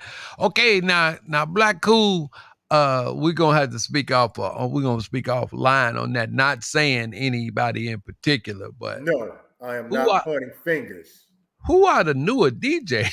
so that's you know that's because uh okay because the line uh as far as the DJ line and the DJ tree goes, okay, there's Sam, and then from everybody that came in Sam's crew and after after all that stuff, I'm the baby of that bunch, and I'm 68. Okay. And when it came to the next line on Steppers, the beginning was with Steve Breeze. And that was my man. May he rest in peace. Man, that was my man. Man, he and I man, it was a litany of DJs that I listened to from Vincent Randell, yeah, Steve Brewer. I mean, it's a host of DJs. DJ Raphael, DJ mm. Cross, mm. DJ Calvin, DJ Jeff, may he rest in peace. They used to be. Oh man, Jeff at the fifty. Oh yeah. Come on, dog. Come on, man. man. I, when I would when I would come into town, if I would come into town and I would stop by there, he would just he would do whatever I want. Now Cross, I, am crazy about Cross now. That's my man. Uh, Watch your mouth now. That's my man. Yeah, I, I'm crazy about Cross now because Cross even at a new school set, right? when I come into Heroes, when I go into Heroes, Cross is going to give me three walking songs. He's not going to play. give it to me too. When he know I'm in town, he gonna give it to me too. You right? You right? Shawneesh should say he don't, he only play like that because you in town. Yeah, yeah. Cause he gonna he gonna give it to me. He, yeah, I mean, and, and some did look, some DJs, man, it's like when you, hey, uh, you you can you you gonna change the tempo, break it down. It's like you got to do a root canal with them or that is killing them because yeah. i think one of the problems i think one of the problems is is that a lot of them get their gratification from seeing how many bodies that are on the floor you understand but and that's where they come from in this disco world because when you in the disco ain't nobody doing everybody on the floor anyway reggie have you you know daryl davis taught me this have you just sat back and went into a club that was known as stepping and watched the floor when that shenanigans starts to happen? Have you actually just watched the floor? Daryl used to tell me, tell me it should be like this, not like this. Mm-hmm. The floor should be like this. Mm-hmm. So when you see a lot of bopping up and down, something's wrong. Something's wrong. And that's what I see a lot of when it comes to that music because that generates a certain energy, a certain vibe, a certain spirit, and it brings it to the floor. And that I, I just, man, I can't subscribe. I personally, because of how I was taught and what I've seen since a little boy and what I've seen in learning it I just can't subscribe to that energy, Ooh. bro. Woo, now listen now. Letha, I love you. Letha, I love you so much. So like like the remix of that me and Mrs. Jones. Church. Church. Woo boy. And then, you know, uh it it it had got so it had got so uh I when I would go out when that song came out and it's I knew when the DJ was going to play it. Yeah, but you thought that it was the real deal. No, I didn't. I knew when oh, I. Knew? Oh, because you no. Okay, because, that's fair. No, that's fair. Because the Billy Paul version was never played on set. Wow. I don't recall ever playing the Billy Paul version of Me and Mrs. Jones. That was okay. a good radio cut. But when they put that beat on it, and cut it up. Uh, as soon as I hear that, man, and looping it, when they did that loop, man, I I lead a set. I got yeah. I got no, I I can't I can't handle it. Yeah. And then everybody, you know, everybody plays it. Everybody plays it, and it's like you know the DJs that like they trying to, you know, it's like a, a state secret when they get a when they get a song, and then when they find out that everybody likes it, uh me and they start sharing. Yeah. I don't even want that song. yeah, I get it. don't I get don't it. get it to me. You know, don't get it to me because I ain't I don't want it. Wow, let, we get we getting a good one, Joanne Kane. Talking yeah. about Breeze. Uh yeah. Don is uh crossplay is my song when I come in the heroes. Yeah, that's good. Yeah, I definitely. You tell Cross that because you know Cross does his thing. When he sees me, he don't wait. You know, yeah, he don't wait. And then Keith Hubbard speaking, uh, Jack A. Ballard. Mm-hmm. So I don't like. uh a whole lot. Jeffrey Clark. Oh, good to man, uh, Mr. Clark. We're gonna have to. I'm gonna have to reach out to you and uh, talk to you because uh, you started that thing in Detroit. So we definitely gonna have to talk. I, I have I, a question I, for you, Reggie. Go ahead. So, with you inviting me on this show, okay, it was a personal invite, correct? Yes, sir. So let me shift gears for a second, and I know we're short of time, but I, I have to say this because I got this idea from a friend, and we were discussing back and forth. So my current disenchantment, although I'm still in love with stepping, I, you know, sometimes I don't like stepping. And this is why. For someone, I'm paying the mortgage on my house, okay? I invite Reggie Miles to my house. Reggie Miles come back to my house the second time. Not only does he make himself at home, but he starts to knock out walls. he starts to redecorate. He starts to change and rearrange the format of my home that I'm still paying the mortgage on. He ain't paid nan mortgage, nan bill, or ain't paid nan dues. To me, that's the equivalent of what I think and feel what is going on with the current status. Oh my God. Of stepping. Oh my God. How can you, whether you're from Chicago or otherwise, come into my home and take over what I know and love and, and I'm paying the bill on mm-hmm. and say now it's going to be this way? That is totally disrespectful to the art form that has been paved before you, brother and sister. Mm. So again, I know I'm gonna get some flack, but I'm speaking truth to power. Church, Man. there it is. Man, I'm like, I look at I look at so many of the things that's uh, that's going on, and uh, I just decided uh, to do what I wanted to do. I think from the words of uh, Maya Angelou when we know better, we need to do better. We need to do better. That is the key phrase. Yeah. And the problem has been is that uh, all of the story or clarity in what has been the history hasn't been out there. When the first missionaries or the mm-hmm. first set of instructors or the mm-hmm. first people who went to take the dance outside of Chicago. Mm-hmm. Uh, there were Before were stepping in the name of love. Let, let me make sure that that's clear. It didn't start with stepping in the name of no, love in no, 2004. No, okay. I'm not. I'm, I'm not thinking. Right. I'm not thinking about that. Those the, right. the first instructors that came out, they came out really after the demise or the ending of the high stepper set. Because the high stepper set now to my understanding was the training ground right. for for them. Okay so but when they went out as missionaries or yeah. as or as ambassadors or promoters of the dance no one ever took the history and culture. One of the main one of the main instructors that I spoke to told me, he said, you don't need to know the history of the car to drive the car. That's what he told me. Just straight up.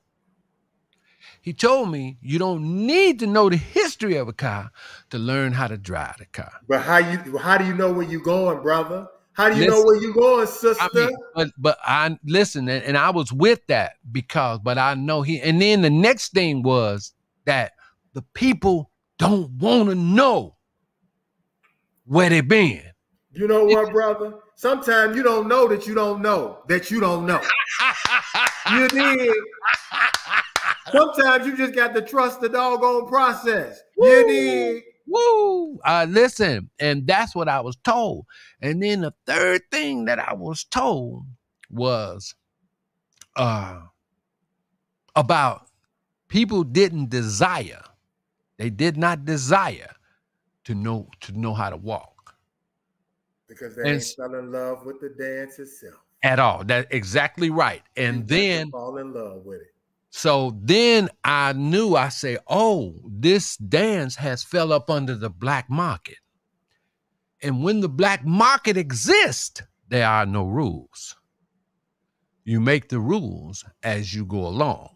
When people start leaving Chicago, going to these other places, and if they had a partner with them and they started dancing and it was different from the local dance there, they became the king and queen. But that's a scapegoat. Right. That is a scapegoat. Classic scapegoat. But listen, uh, and that's those are the kind of things that I was hearing and that I was saying. And the first thing I would say, man, I was telling the people, if you don't know, if you don't know all three, if you don't know the three, you can't be us. That was the first thing I said. Tell if you like can't step and walk, you not us. There it is. You know, the dance, I don't know how the I, I couldn't figure out how the evolution of the dance became one dimensional. I can't I I couldn't because I, am trying to tell you, Reggie, to, to, to understand it, it's all about revolution. Mm-hmm. It's it's the it's the revolutionary spirit of taking a dance and making it part of your city to best suit your, your dance need. form and yeah, what you're comfortable with.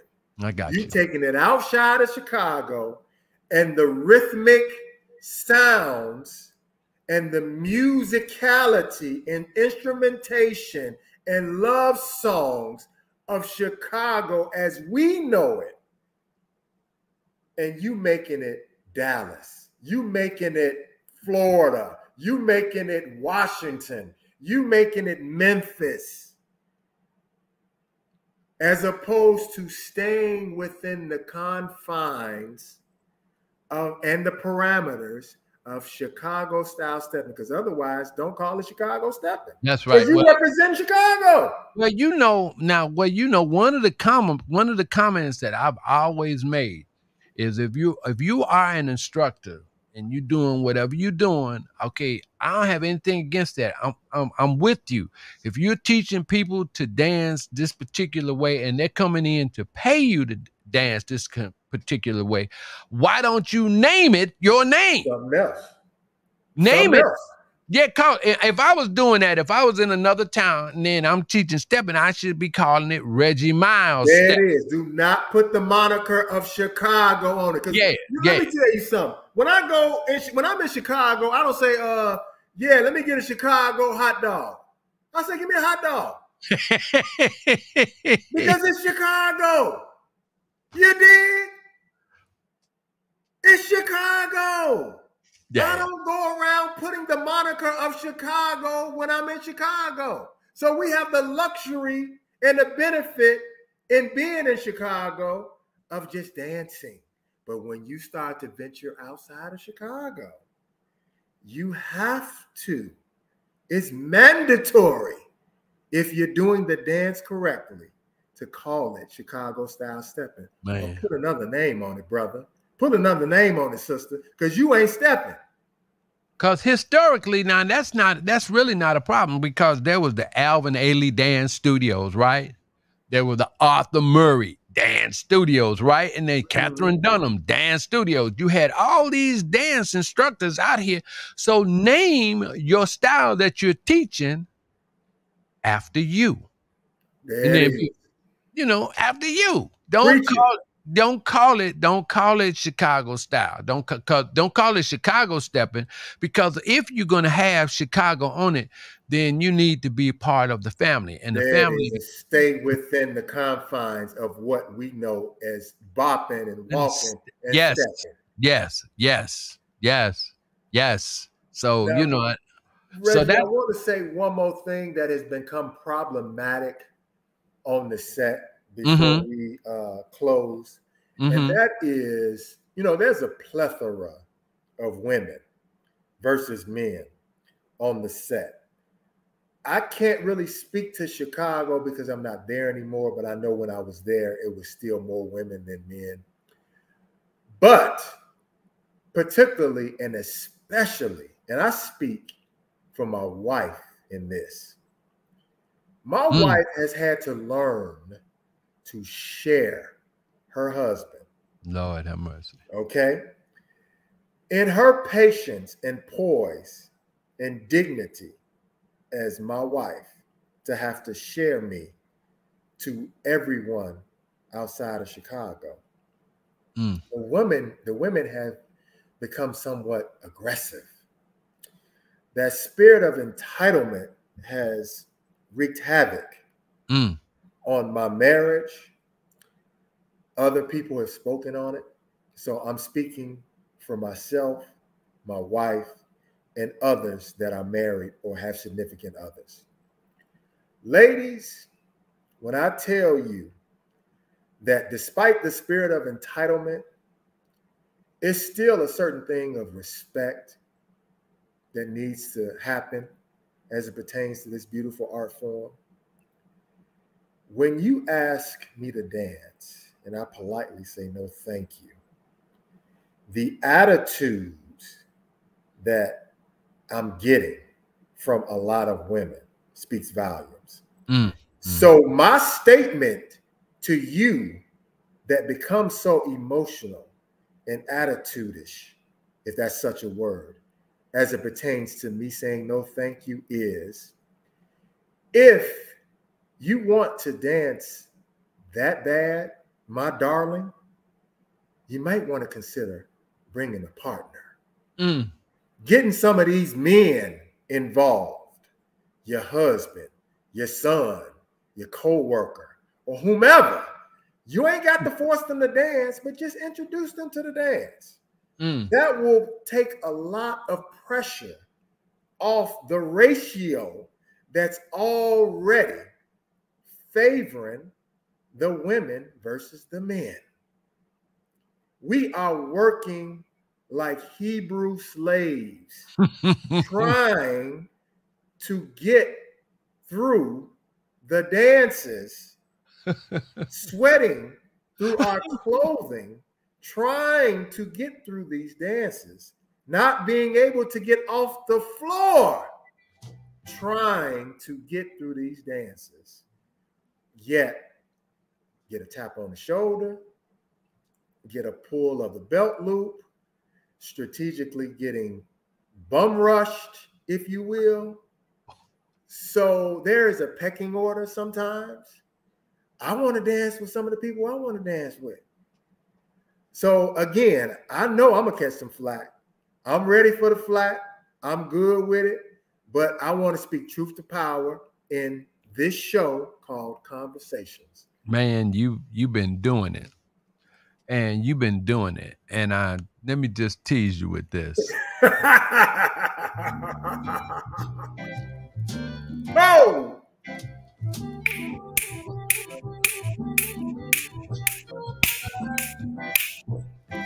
Come on with it, Reggie. yes, sir. And I just looped that just to mess around with it, you know, because uh, music for me and the set has always been dynamic. It's been a it's supposed to be, you know, uh, contemporary, classics, jazz, love songs. That's Reggie, what, what is a classic? Uh, Life what in the Country. Classic? Life in the Country. Anything that was made in the 60s up to about, uh, I would say, when at the beginning of hip hop. So, you know, the people or the powers that be uh, in my generation and the generation that comes after me will say to you, Reggie or Rick or whomever has a, a, a rebuttal as it pertains to the classics or dusties, they will say, well, we can't relate to that music. So then my rebuttal quickly is, so if I was to take salsa, or if I was Come to take now. another dance form, Come on now. But particularly salsa. Come on I can now. speak any Spanish whatsoever. Come on now. But if I was to take salsa, I'm becoming ingratiated into the culture. Of salsa. Come on now. And all that goes with it. I cannot dictate to the DJ or to that culture what I can relate to. Okay. it's about the music and what has been set forth before you. Mm. You then, as a dancer, have to learn to adjust. Your palate, your taste buds may have to change to some degree to include the classics, bar none. That's it, that's all. It ain't what you do, it's how you do it. It's how you and, do it. And so it uh, there's always been an element of contemporary music played with what we do. Some songs, some songs slip in there that's made today that are good. Yes, they're really good and they can fit. But they listen.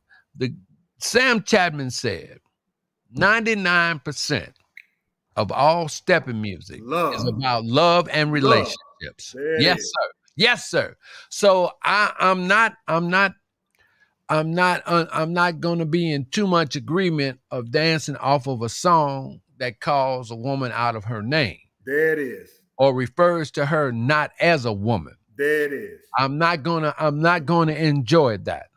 You know, I'm not going to enjoy that at all. Because I mean, you know, when I could do it, when I was out there doing it, right?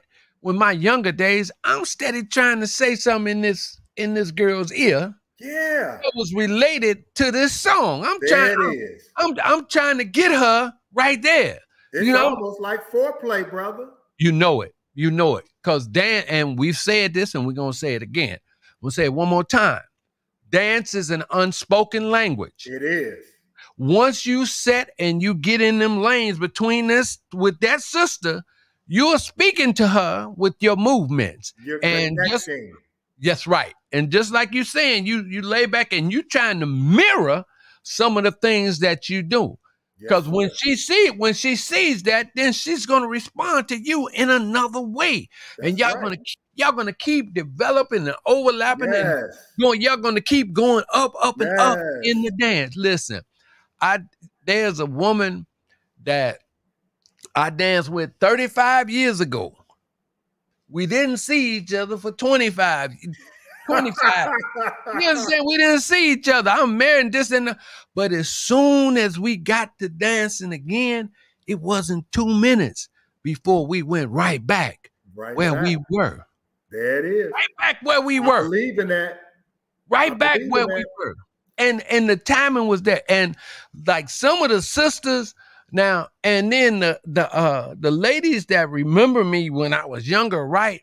And you know, they get mad at me, right? Well, when you gonna dance with me? I've been trying to dance with all these new ladies, not to not to rap or nothing like that, but I'm just trying to give them another side of the dance. There it is. That's all I'm trying to do is give them another side of the dance. So some ladies will come out of t- from out of town and they're coming. I'm in town and I'm going out to walk. I'm going out to walk with them, but it, it all depends on what set I'm going to because if I know certain DJ playing, I ain't look, baby, I'm not gonna come there. Why don't you come here? you know, mm-hmm. I'll, I'll see you here when I know at least I'm gonna get four, five walk songs, you know, yeah. six. You know, I'm not I'm yeah. not going out anymore and staying no three hours at a set and, and hear four walk songs. Yeah, I can't I can't do that no more. I can't do That's that. preposterous yeah, I can't do that no more. Mm-hmm. Can't do that no more. So, and listen, and, and I just think, and I and I'm I just think, and I know I got a lot of uh, our uh, my peers on here. I mean, all we really need, all we really need is a place to have a set. If we have a place to have a set and we could do it regularly, yeah, we can show how the set was. And I'll give you a prime example. That third Friday set that Leanna had. Man, so many people need to be exposed to that beautiful art form that came way before me, that continues to be a beacon of beauty personified in motion. Man, my wife told me she looked at Curly. This is Don Vic's older brother. Mm-hmm, and mm-hmm. she said to him, You dance like Don Vic. Curly stepped back and said, huh, He danced like me. Dance like me. me. yeah. this is this is this is a true story. Yeah. This, this was at least this was for me when I watched the people in Leanna set, man, it's like heaven on earth for me in the dance world. It really truly is. That was a, that it's was... a small, intimate environment. Everybody is friendly. The camaraderie, the fellowship, the energy, the dance style. I mean, man, it's it. That was the first time I seen you on the floor in the wood, right? Uh, when you and uh, the phenom, Mr. Drew Alexander. Drew, that's my brother, younger brother. Yeah, and, uh, and he's one of the ones in New School that I omitted. That uh, I apologize. He, Sean Bandy, Selwyn is coming. Selwyn Hodges is coming along. Mm-hmm, Those mm-hmm. brothers, yeah, they they they doing their thing. But mm-hmm. I still, you know, I, I have an old school spirit. So yes. I I'm more attracted and connected to Leanna's set and what that brings for my spirit. That feeds my spirit.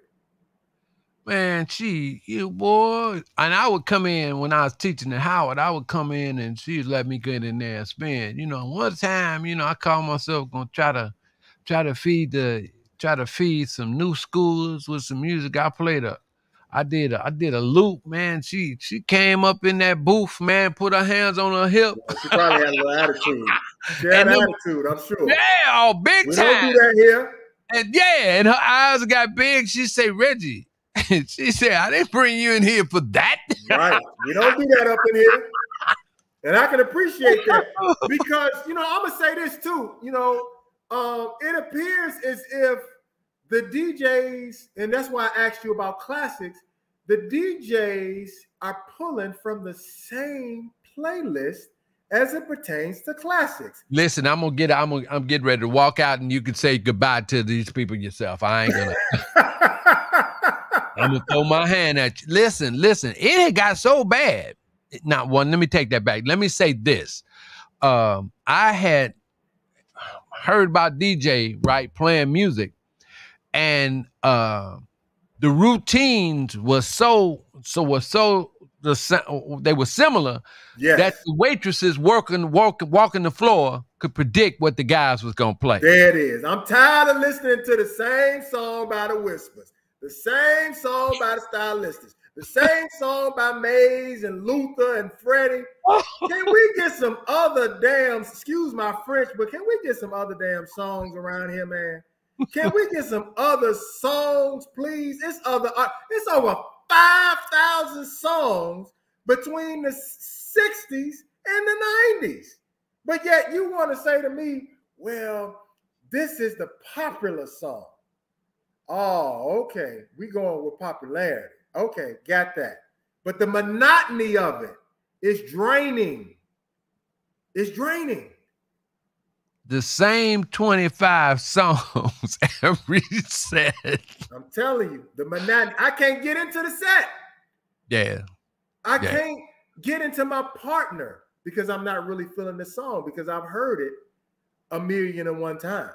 Yeah, Leanna busted my chops, man. She said, you know, uh, cause I call myself trying to fit in, get in and fit in with the rest of these cats. She looked at me, she no, "Oh, brother. no, no be yeah, ready." She she jumped on me, man. She jumped yeah. on me. So uh, you know, if it ain't if if the if the set is not there for me with my people, I don't want to play. Okay, I don't want to play. I'm not, you know, because I want because I want to play. I want to play classics, you know, and I want to play some jazz and I want to play some walk songs. You know, I want to play something missing by Bloodstone. You know, I want to play.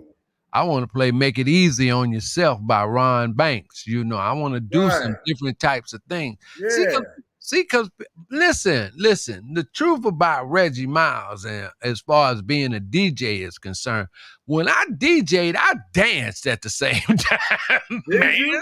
Yes. Yes, that was my MO, man. I would play records and run back there and put on another song and come right back out there. At Chick Rick's, I did that and at every set. And then it got so that women would just come and they would come up in front of me and say, You gonna come down here and dance?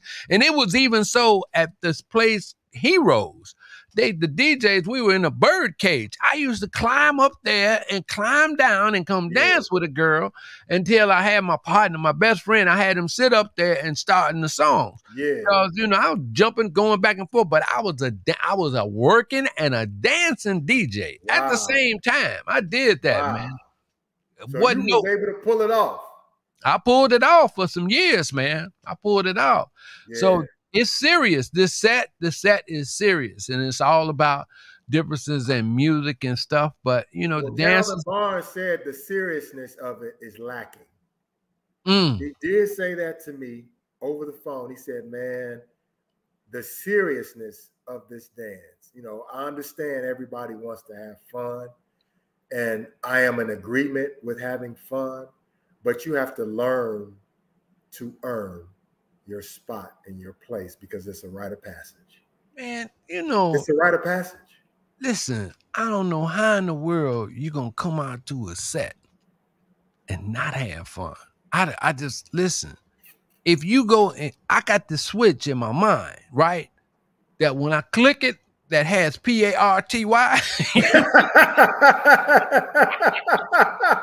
Party! Yeah, you know, and, and when I, I got that flick, that switch, and when I click it, when I'm going out, I'm in that mode.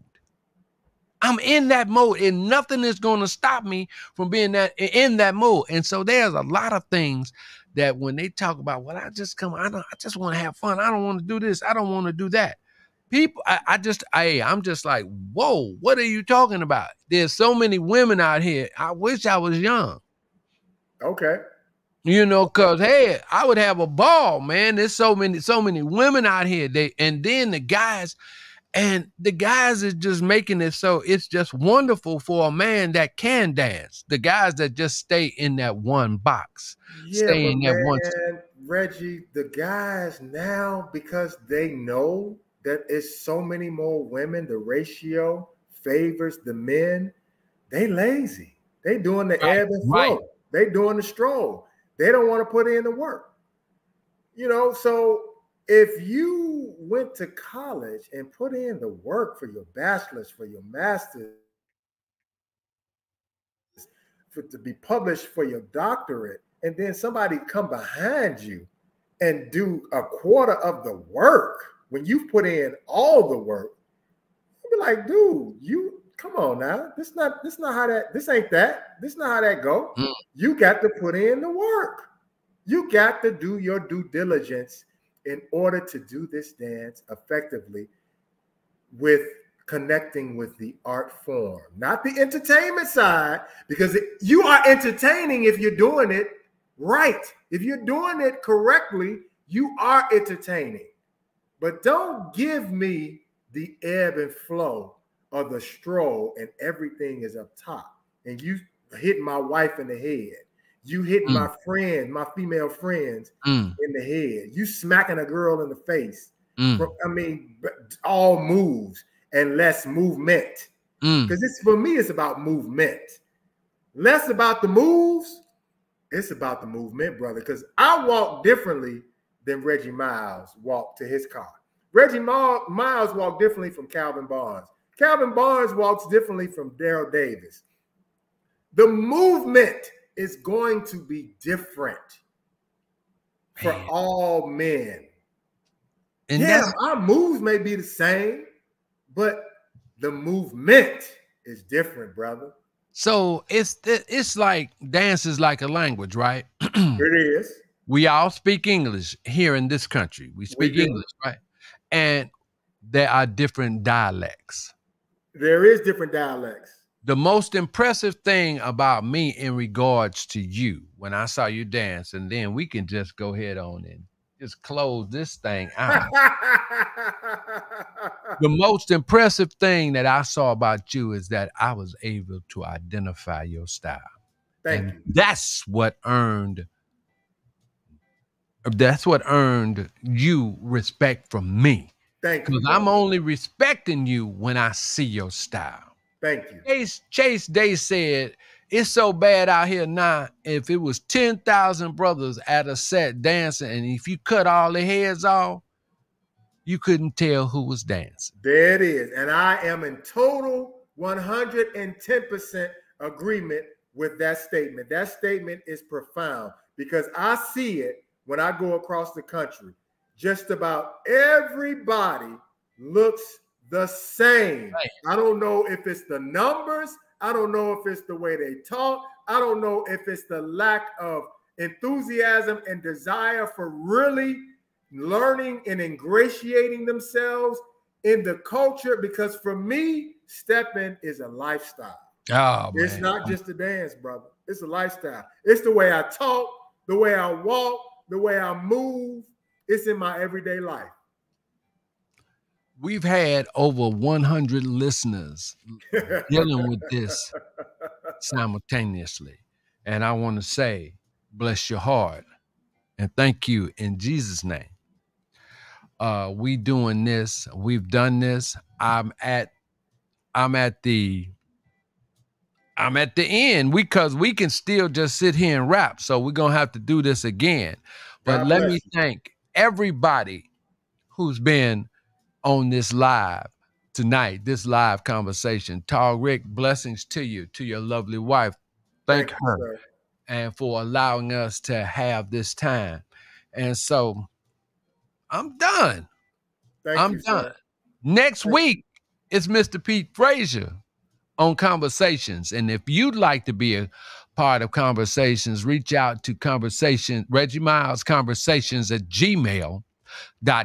You know, I should have had somebody, I was going to give out the phone number and let somebody call, but I'll get that next time because we got into this. So I didn't, yeah, maybe I'm did. glad.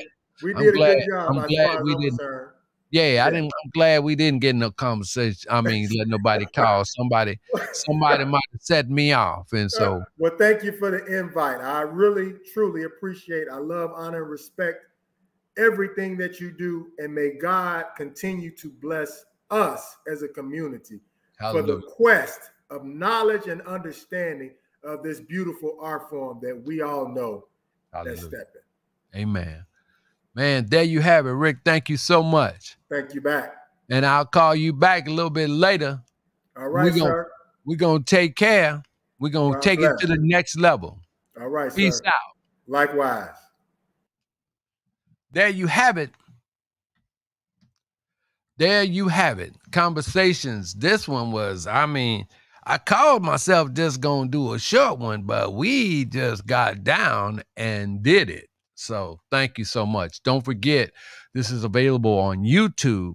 Like, share, and pass it on. Let everybody know because we just threw down. We just threw down. We just talked about it. And this is to clear, this is to uh, to clear up a lot of things. Thank you, Joanne. Thank you, uh, Jeffrey Shine. Don, thank you so much. Cheryl, thank you so much. Uh, Great show. Thank you, Don. Uh, Jeffrey, thank you so much. And to uh, Sophia, thank you so much. Everybody chiming in, thank you. Cheryl, thank you so much. Uh, Miss Poe, thank you so much all of you all have been great, great. I forgot to turn off my my bot, man, for my gospel show. I got a gospel show in the morning, starting at six o'clock on Twitch. Oh boy, it's, it's just been wonderful. I appreciate you. Thank you so much, Denise. Uh, and this is just conversation. So I'm gonna get out of here because I gotta go get my daughter. This is the world's largest stepping contest week here in Chicago. So I'm going to uh, I'm going to be there. I'm going out. So we got a whole lot of things to do. Thank you all so much. Take care and don't forget to join me for the next conversation.